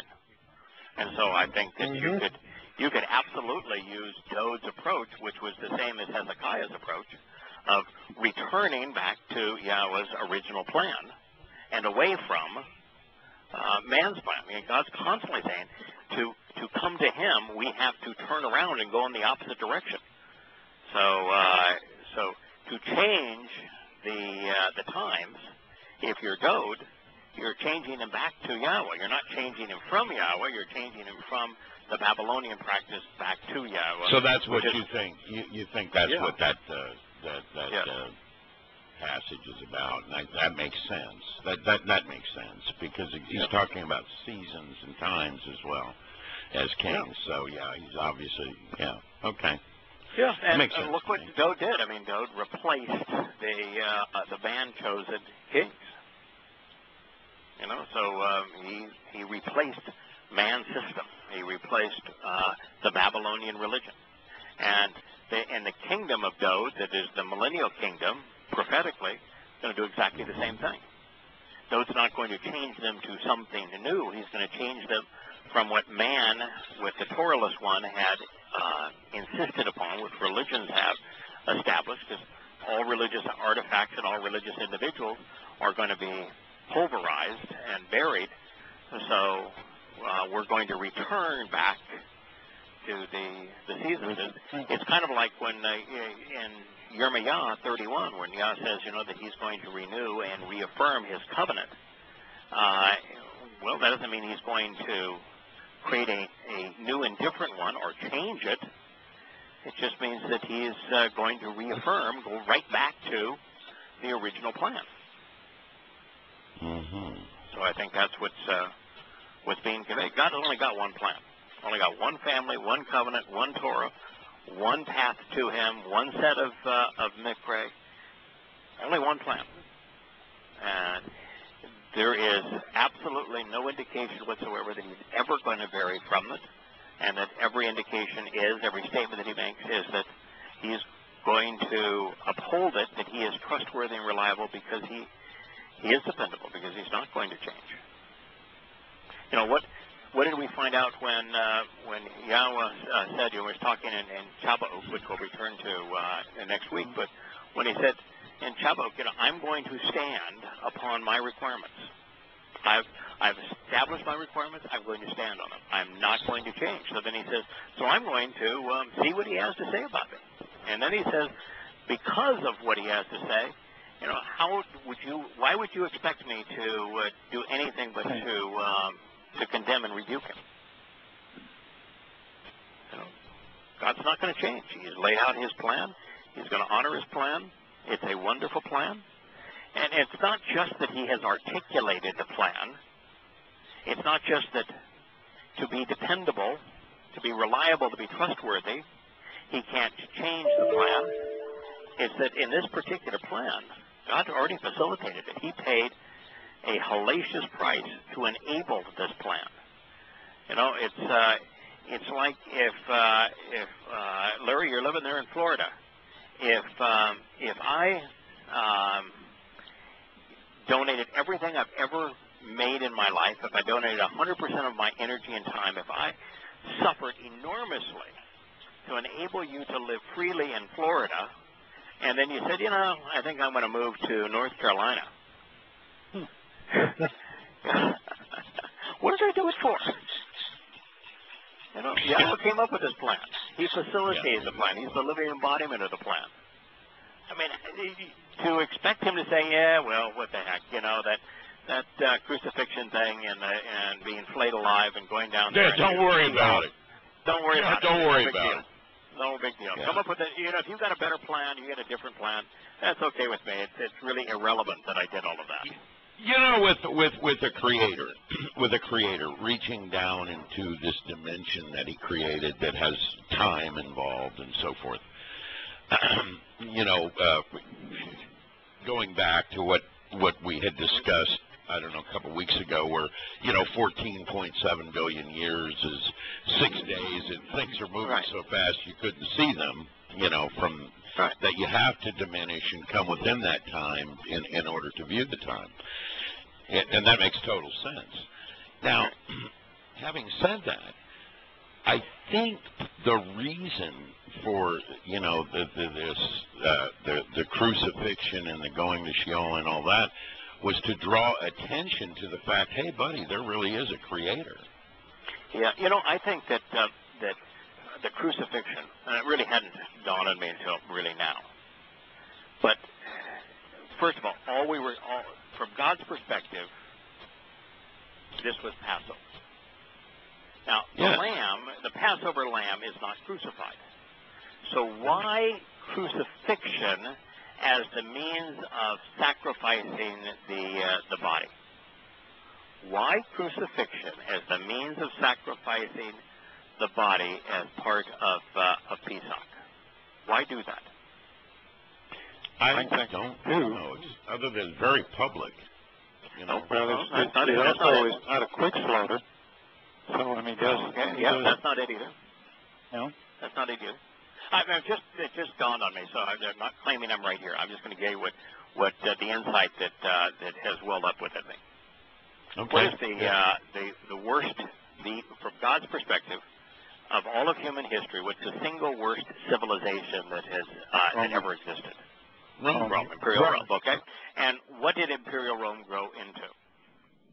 The Catholic Church. The Catholic Roman Church. Catholic right. Church. Yeah, yeah, Christianity, Roman Catholicism. Uh, and as John would say, that is the beast that treads upon the whole world. Yes. And doesn't he specifically identify that beast with Babylon, the whore of Babylon, the mother Absolutely. of harlots, and No question about it. Yeah, That's okay. what we've been going All right. over, the horror So of religion. What, what form of, uh, of of killing is is most synonymous with Crucifixion. Crucifixion. There, you- there you go. Yep. You know, it is. Uh, in Roman Catholicism, man all but kills God. Did away with him. Mhm. Tortures him. Mutilates him. Rips Uh, him. you kill them, They do. according to them. Yeah, in fact, they, the symbol of the Roman Catholic Church is their crucifix. Yeah. Yeah. Plus the people. Hanging on their cross. So, uh, Meaning they're very God proud of what allowed they did, the the worst beast in all of humanity, the most satanic, demonic influence on humankind, to perpetrate the uh, the death of the sacrificial lamb.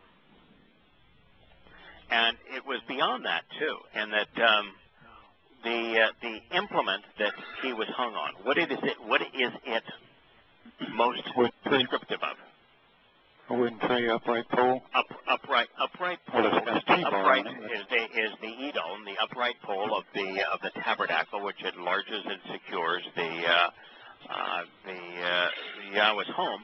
But it is uh, it is also, you know, when on uh, on Pesach, isn't it the uh, the upright uh, pillars and the uh, and the lintels that the that the blood is to be sprinkled on that uh, forms the doorway to heaven? Well, yeah, clearly, yeah, that's the doorway. Yeah, we we know. Yeah, Yeah. I mean that that's the So symbol. the implement the itself is an upright pole.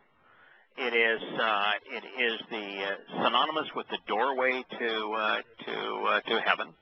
So it is the upright pole of the that secures and enlarges the uh, the tabernacle, which is the uh, home of uh, of Yahweh.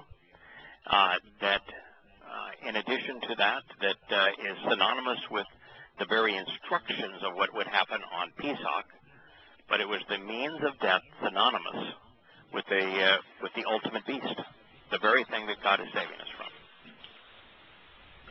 Christianity. That makes sense to me. So you know, it's uh, mean, every aspect of his plan. It's uh, the, the details are there. It's it's why. Uh, uh, and we have a, you know, a, a small disagreement on this, uh, JB, but it's a reason why I think it that we are able, as covenant members, to disagree on the uh, the timing of Pesach and Matzah, uh, because Yeah. it was because Yosha uh, wanted to celebrate Pesach with those he loved, with his disciples, to set the example of how you observe Pesach, and also be the Pesach lamb.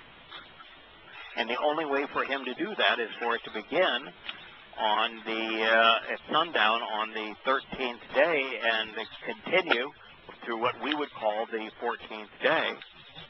Uh, and you know he ate matzah during the process so that it is um, it was possible for him to celebrate, observe Pesach as as uh, as one who was observing what Yahweh, celebrating what Yahweh had invited us to do, setting the example, and yet himself serve as the Pesach lamb. It was designed to accommodate that. Now, brilliant in terms of the timing, and it was all established specifically to enable that. And then I think that even the details of of why, for example, this uh, year we've had it, we have a difference in the family as to when we should celebrate Pesach versus uh, you know uh, one uh, um, essentially full moon versus the other. And I'm convinced that there's a reason that there's no specificity. That the reason there is no description of that it's the uh, it's a renewed light on the moon. A uh, based not on uh, not, not specified if it's astronomical or if it's uh, observational. Uh, both are, are observational, by the way. Um, or if it uh, how much light has to be on the moon's surface? Does it have to to the light have to be renewing prior to the sunset, which you know we have a different time. Uh, Hebrew, the day begins at sunset, and uh, uh, you know in our current calendars worldwide, the day uh, begins at at 12:01 in the middle of the night. So you know if you have renewed light on the moon, but it's after sunset, then that can't be the day. You know, so it has to occur before the uh, the sun sets, but he doesn't specify that. You just have to think it through. Um, and he never once says that it's the uh, the sunset nearest the uh, the vernal equinox. But he says that you know the the, time that barley is abebe and the, the the bloom, the blue bloom on the flax, that's that's the time that this is going to occur, and it's the renewal of the light of the moon. It's coterminous with that. Well, to to have that be consistent, you know, it's going to be the renewed light on the moon that's closest to the the, uh, the spring equinox. But he doesn't provide specificity for a reason. No, so you saying, yeah, it doesn't say what strand of barley, what location no. that barley has to be grown in. Right. Doesn't say where you're where you look for the uh, the moon. It doesn't say what happens if the sky is uh, if it's cloudy that day. Yeah. What if there's a thunderstorm for right. like no provision for that. Right. And by saying to Hezekiah, you know, uh, we're going to be a couple of weeks late. Is, is that okay with you? Absolutely. We're going to celebrate it uh, a couple of weeks longer. Is that okay with you? Absolutely. Yeah. Uh, th- there's a reason for that. It's it's not about the day. I mean, you know, we are uh, uh, so fixated on what day it was. You know, what was what day was he born? Well, he wasn't born.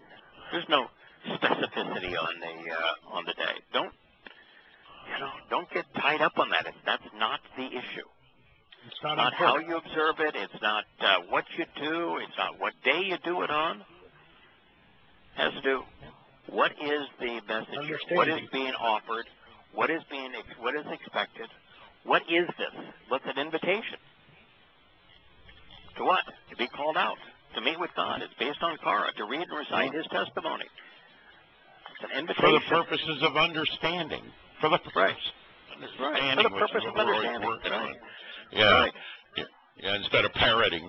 Parroting is the purpose in, in, a, in a church. I mean, it's the, for the purposes of parroting these words that were, were screwed up. God must say a thousand times that the uh, the means to know Him is to listen to what He has to say, to observe his uh, his teaching, his guidance. Chew on it. Think about it. Think about it. Yeah, to make the necessary connections so that you understand. And I, I do have a question before we go to. I, sure. I do another one. Okay. Uh, I forgot what what was the name of the uh, god of fortune in uh, Yasha Yah? They're always trying to say it was Gad was his name, which is yeah, totally yeah. There is a there is a god named Gad that was the uh, god of uh, of fortune. Uh-huh. Oh. Oh, okay. Yeah. So um, it's just yeah, like but he had uh, another name the, too. you know the Canaanite god was El. Yeah, sure. Yeah. You know, it's uh, it's El. Uh, there, uh, that's just the there. Yahweh has a uh, a name. He has several titles. He has one name. Uh, so long as you know his name, share his name, acknowledge his name, understand his name, love his name, reveal his name, acknowledge his name, um, and you understand his titles. You know, uh, Yeah. God is an is an important title, particularly if you're the real one. Uh, so is Father. So uh, you know, those are uh, the fact is that that Hasatan is not creative. All he does is counterfeit. So the, the things that he's going to do is he's going to establish gods by the names that that counterfeit what Yahweh has to offer. And you know, one of the things I was always frustrated about is you know, in trying to to tie, you know, like uh, you know, we probably all read the uh, the two Babylons, uh, Alexander Hislop's Mhm. book, the two Babylon, uh, Yeah. Babylons, and he spends an inordinate amount of uh, of that book trying to show the uh, the transition from uh, Tammuz, for example, and how Tammuz uh, was the uh, the child of uh, of Nimrod and Semiramis, and and then how Tammuz became uh, Osiris, and how Osiris uh, became um, uh, Dionysus, Dionysus, and how Dionysus became Bacchus, and then he goes through also the uh, the queens of heavens and mothers of God, and all that kind of stuff. And uh, and what my problem with all that was is that they all had different characteristics, different names, different parents. There was no smooth transition and consistency between them, and I, and I was always frustrated because I wanted to be able to show people that that Tammuz was the same god as Osiris was the same god as Dionysus was the same god as Bacchus was the uh, the same god as the Christian Jesus, and and you really can't do that because their characteristics, their uh, their lineage, uh, and the their rights that surround them are all somewhat different. And it just dawned on me the other day as to why that's the case. The more confusing it is, the better it is for Satan. Oh, sure. Satan, yeah, Satan. It's the same ripoff every time, too. The, Right, you know, dead yeah, bodies but- in the ground, but- three days. They get up and the But- dead bodies walk. Right? Yeah, I mean, really. the the more different names and the and the and the more difficult it is to pin it all down and say, well, this is the the false one. That better it is for Satan. You know, he doesn't care what name you choose to worship him. He doesn't care if you call him Allah. He doesn't care if you call him Jesus. He doesn't care if you call him Buddha. He doesn't care if you call him Dionysus or Bacchus or Osiris or Ra. He doesn't care. It is absolutely meaningless to him what you call him, so long as you uh, are fooled by him and worship him. And so the migration of names, you know how, you know the, for example, the Gratia are not a, an absolute duplication of the Charites. There's some differences between them, um, but it doesn't matter. Uh, That's the whole purpose of Satan is to confuse. If if they were all exactly the same, going through uh, through history, then it wouldn't be confusing. You know, it's confusing. Just like you know, if you were to say, all right, the Christian Jesus is modeled after Dionysus. That's true. Is there? And about 90% of what was said about Dionysus is reflected in the Christian Jesus, but not 100%. You've got to have some confusion in there, otherwise it wouldn't be beguiling. But it doesn't matter as long as I, I take you off the road to another road. Correct. You're happy. Yeah, right. So long as I've got a counterfeit that is uh, You'll accept. Right, If you don't like this model, let me give you this one. Right. Yeah, I don't care which model you choose. And I've got a, I got a religion out there for the insanely stupid. It's called Islam. Uh, I've got uh, one for the insanely moronic. It's called Scientology. I've got one there for the uh, egotistical. It's called secular humanism. I've got one for the comatose. It's called Christianity. Uh, you name it. I've, I've got one for you. And you know, and the the the edicts of those religions are all designed to distract. I mean, what's the biggest thing about Christianity? It's, uh, it doesn't want you to be promiscuous. And so, you know, they spend all their time on uh, on being opposed to to uh, homosexuality Being approved. and and Yeah. being approved. Just being approved, really, more than anything. Isn't Just being isn't a the most approved. sexually promiscuous person presented in the Torah, prophets, and Psalms Dot? Mhm. Yeah, yeah, that's right. So Pretty you much. think that it, it, so I would tell you, uh, when God's when when uh, Yahweh created Chawa for the benefit of Adam, do you think that he said, you know, what I'm going to do is uh, I'm going to make uh, this uh, this woman really unattractive, so that uh, you know man won't be bothered by uh, by her at all. She, I'm going to make her really unattractive. Do you think I'm to make her really attractive because you know what? I I, I want I want Adam to have a good time. You know, it's God's not not bothered by the things that that bother religious individuals. Well, you know, I, I, I did a post. I said, can, can you imagine? Okay, Mm-hmm. I, I, I called it. I did it like a Jeopardy. Out, you know, Mm-hmm. stupid religions for one thousand.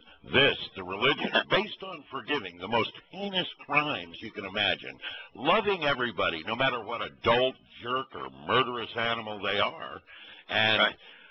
and and advancing sexual prudism. You know, I mean, you know, and uh, you know, can you imagine? I mean, you're outside the Torah on everything, on absolutely everything. You're missing the mark. You're, you're you live in total sin when you walk in a church, right? And and because you have this enormous faith in the unknown, you're a sexual prude. I like that prudism. Right. Sexual Yeah, prudism. You're the one that Yeah. came up with it. Uh, you know, and and and you forgive anybody, no matter what a animal, jerk, vile, disgusting human being they are, and you love everyone because Oh, your yeah, you know, judgment stinks. Imagine having a daughter and having a guy not only rape your daughter, but uh, Yeah. kill your son, and Yeah, uh, and sure. uh, torture your You wife, go forgive him. and you, and you You go only forgive him. forgive him but love him. Oh yeah, yeah. Pray for him and all that shit. Yeah, no, I know. I, I've No, seen. no. I watched these whodunit shows. By the way, I saw my daughter on one of them. She she was had an acting bit in one of them the other day. Oh, I was watching it. Yeah, it is funny. She didn't tell me she was on it. But uh, yeah, it was called, called uh, "Murder Comes to Town." She was playing this Okay. wife. She didn't do the murder, but they just didn't know if she did it or not. But uh, Okay. you know, the the the, th- the thing of it is, uh, you know, you, you start thinking about it. Of course, we think of it in terms like that now. You know, think about such a stupid belief system or ethos, I guess. Uh, you know, I mean, really. Uh, uh, let's see, I've got faith in the unknown. I believe real hard. I forgive everyone. I love everyone. And I'm sexually uptight. And God will love me for that. I mean, this is stupid on its face. It's just stupid. Yeah, it is. Uh, I know it stupid. Yeah. Yeah, Why would God? damn. If if God was uh, concerned about that, why didn't He make the top ten list? It didn't make any list at all. It's just, it No. doesn't even count.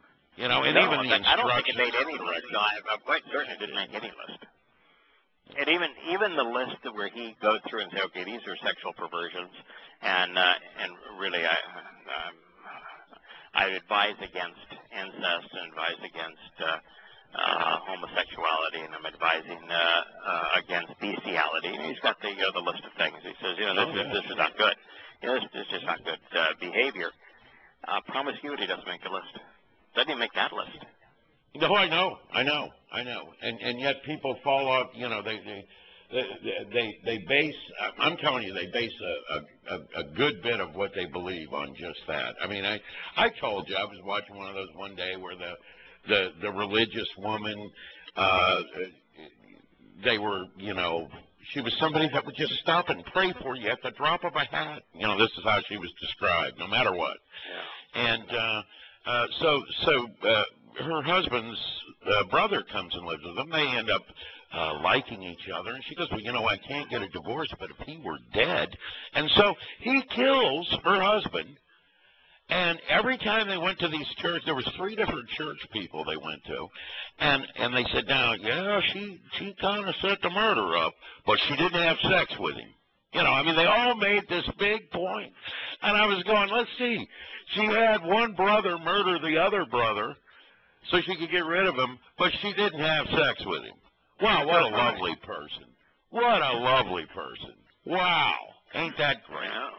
Yeah, uh. Well, you know, the uh, the stories I'm reading now. That I have a son that goes to a uh, a uh, Christian university. Uh, he's in his last six months of a uh, of a doctorate program there, and Yeah, they're having a real pro- yeah they're having a real problem with uh, with um, sexual abuse, and the football players are uh, are abusing the co-eds, raping them and, and sexually abusing them, and the school is rallying around the football players and is uh, Of course. is, Yeah.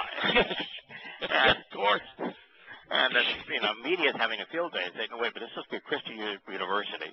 And, uh, and universally now, they are, uh, are harassing the, the victims and, uh, and protecting the perpetrators. Of course. And, uh, and not a single, uh, person has come out and said, you know, this reminds me of the Roman Catholic Church, doesn't it?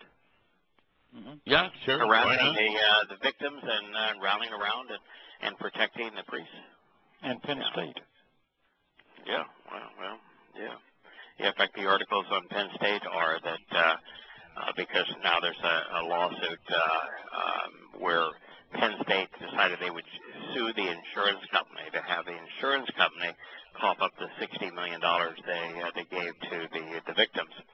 And uh, in that lawsuit, the testimony has come out that uh, that Joe Pa, uh, Joe Paterno, Back absolutely 2005. unequivocally knew and deliberately uh, hid the uh, the knowledge of Sandusky being a pedophile. Yeah, I read that. Yeah, Yeah. amazing. yeah. So yeah. so what's uh, new, right? And and Yeah, yet these human people institution, base academic institution. You know that one out of every four women that that, that attends a uh, an American university is sexually abused during the four years she's there. Are you kidding? No. You know, these this is supposed to be the bastion of enlightenment and morality in our society. One out of four. Uh, well, you know, I mean, since I've come to know the truth, what I have come to know is that there's nothing really worth learning being taught at a university. I mean, really. I don't know. yeah, I think that the uh, sciences are uh, are a worthy uh, endeavor, um, but uh, Well, that's what all my kids did. But uh, in fact, my Yeah. daughter's in her, her you know, I got a business degree. I, there, there's some things that I learned in, uh, in business that were probably somewhat uh, useful. You know, how to read a, uh, a financial statement and balance sheet, and to do financial forecasting and that sort of thing. I mean, there's some things that I learned that uh, had some um, some value, but I can tell you that the indoctrination that goes along with it uh, is so counterproductive that I think the value is offset. The indoctrination is just horrific. You know, you watch it today in, in the political spectrum where where I think it's about 80% of those who are under 30 years old and have uh, uh, received a college degree are voting for a communist. Yeah. I mean, Oh, really? the fact they're that, gonna, uh, that, they're gonna uh, give one that- to Bernie, huh? Yeah, that, you know, that, really, I didn't every know. time a nation has attempted uh, such, you know, you look at, at what happened in in Russia, 40 million people killed. Mhm. You look at China, 40 million people 60 killed. million. 60 million. Yeah, some some say 60 million. Yeah, and uh, you look at uh, at Cambodia. Look what happened. Look what happened in Oh, yeah. Vietnam. Look at compare North Korea to South Korea. Compare Earth, East Germany to West Germany. And So you know, i- i- if you can see that in communism and you can see the countries that are, are Muslim, Yeah. why can't you connect the dots? correct. This is not the system we should copy. Right. I mean, Well, what's so I mean, it's pretty clear that that that. Of course, now I mean, we don't even have capitalism; we got crony capitalism, and and, and you know that's something I'm totally against. But it doesn't matter because in the end, they're all capitalistic. Whether it's are all the same thing. They're, it's, so, yeah, we, socialism, we used to have free, we used to have free enterprise. We don't have free enterprise anymore. America Right. is far more socialistic than it's free enterprise. Well, you know, and, fact, and I agree more free enterprise than we are. clear. You know, no, I know we're more red than red China. I mean, just look at the taxes. Yeah, You- economically, yeah, yeah. In terms of our tax sure. codes, redistribution of wealth, we are more uh, communist in our economic policy than uh, than they are. They are communist in terms of their politics, uh, and we are are communist in terms of our economics. Oh, it's quite then- a. then qu- the- I'm sorry, I was going to say, then, then the appeal for Bernie is is just to forgive my college debt. But but if I Oh, loan yeah. you a hundred Now, thousand just dollars to go to school and I That was- expect you to return, I want forget debt. return. And, and of course, and Rob, the uh, the the one percent, everything is uh, that the reason that uh, that you don't have a mansion and a fancy car and recreational vehicles is the one percent. And if we just simply rob the one percent, you will all have everything that you wanted, and we'll deprive them, and and uh, the world will be wonderful. That's all you need Yeah, to do. sure, is that always works one out. and everything Yeah. everything will be great. You know, I That's had a for guy sure. was uh, working in my house the other day, and he says, you know, we could resolve the debt if we uh, sold all the public land. I said, oh, really? We already Okay. have. So, uh, so let's just say. yeah, we already have. You're Uh, right. the average American, the average American um, has two hundred fifty dollars in savings. Yeah. So the average American Wow. ain't going to buy any of your any of your public No. land. Um, now, so who's going to buy it? Uh, China. Okay. So let's just say the Chinese are going to buy it. So, uh, Sure. how much public land do you think the Chinese are going to buy? Can't, if you A hundred can't billion? develop it, they don't want it. No, I, I don't even think they sell it to them now. They just say, "Here, take this Yeah, because we A trillion? the debt." Yeah, a trillion. You know, the uh, the Chinese uh, have less than a trillion dollars in T-bills. Are they going to? Let's have them trade in a, a uh, trillion dollars in T-bills for federal land. Okay, now your your federal debt goes from 20 trillion to 19 trillion. yeah, the, uh, deal the, the. OPECers have collectively have about a, uh, a trillion dollars in um, in T-bills. So okay, let's have them trade uh, it for a uh, for some uh, government land. Now you've gone from uh, 19 uh, trillion to 18 trillion. Okay, let's get the rest of the world to. Uh, Yeah, well, no, you're doing the Yeah. math is your problem here. So, so let's just say that you say that Correct. you, that you mean, actually got do it that. down that you got five trillion dollars to buy all of the government's land, and now you've got fifteen trillion dollars in debt, with the government adding a trillion dollars every year. In other words, you're going further in the wrong direction as you're engaged in the process. It's, there is no resolution here. When I can't when I took when I took economics in college, the guy stood up and he said, "Okay, tomorrow everybody gets a million dollars," and everybody Yeah. went, "Wow, great! Everybody gets a million dollars." And then he says, "But then of course I walked out to my front steps and I noticed that my paper wasn't there." So I called down the street to Charlie and I said, "Charlie, your boy didn't deliver the paper." He Sure, he's said, got a "He's million millionaire. dollars. He's a millionaire now. What does he need to deliver that job?" That, that ain't the solution, guy. I mean, it's just so simple. Right. Read But my the system practice so makes everybody's it, well, why equal. doesn't make anybody better. He's a millionaire now. Yeah. So Well, nothing okay, well, my pool's not clean. Well, well you, why want to do Hey. that? Well, I need gas for my car. Well, there's nobody working at the gas station. He's a millionaire So, now. so give it, give me about two weeks, and all, all the people who have the money will be the ambitious ones who go out there and say, "Okay, I'll do it for you for half a million dollars." Bingo. yeah, you want and we're right back to they are. refrigerator. The same people that are just the rest of them are sitting around going counting their money, or they can't get anything done for themselves. Can't go to the So market. when I need not a system well, that nobody ever working in the market. Nobody, no Yeah. truck drivers. Nobody works in the market. Everybody's, Yeah. uh, yeah. What are you going to So spend your money gonna, on? yeah. So you know, it, it take a month, and everything will be right back the same way it is. yeah, that is correct. Yeah. Yeah, it doesn't. Uh, it doesn't work. Yeah. So that's not a man. Uh, of course, that's, No. All right, fellas. Well, we didn't get to uh, Habakkuk, but I think we had a, uh, a fun discussion about what it's uh, like to be in the covenant. Mm-hmm. Well done. Yeah, I Enjoyed think it. that, I enjoyed it. yeah. I, I, Yeah, I I enjoyed hearing it. And there is a lot of things that we've discussed that, that no one else discuss, discusses ever. And, and there's things we've uncovered nobody else uncovers. There's truths we've laid out there that nobody else lays out there. And we're Yeah. doing something that hasn't been done in thousands of years. And we are such a small group. It's pathetic. I mean, Yeah. it's pathetic. And it's amazing how obvious all these things were. Oh, Before how you go away, Terry. Terry was just asking me, uh, are we doing nine o'clock on Monday? Or are we just waiting until next week? No, yeah, nine o'clock on uh, on Monday. I think is when Scott uh, uh, go. us. Okay. Yeah, Okay. nine, nine o'clock for you, noon for uh, for me on Monday. Okay. All Yeah. right. Yeah, and we'll pick Craig up didn't on, get up uh, at nine on anymore. on Ch- on uh, Chabaquwq. Uh, well, it's uh, What you about know, ten or something like that? yeah, he's uh, he's he's West Coast. I'm East Coast. Um, so um, I know. yeah, yeah. So uh, uh, we'll we'll just begin with uh, the opening, um, uh, the second chapter of uh, Chaba Oak. We've gotten to five or six, but we'll just retrace our steps back to Chabaquwq two one and make our way through uh, through it. Not a problem. All right, nine o'clock on Monday. I'll be there. Yep. All right. Thank you. Thank you, Larry. All right. Thank you, JB. No, I appreciate it, you guys. Good night. Enjoyed it. Yeah. Good night, fellas. Bye bye.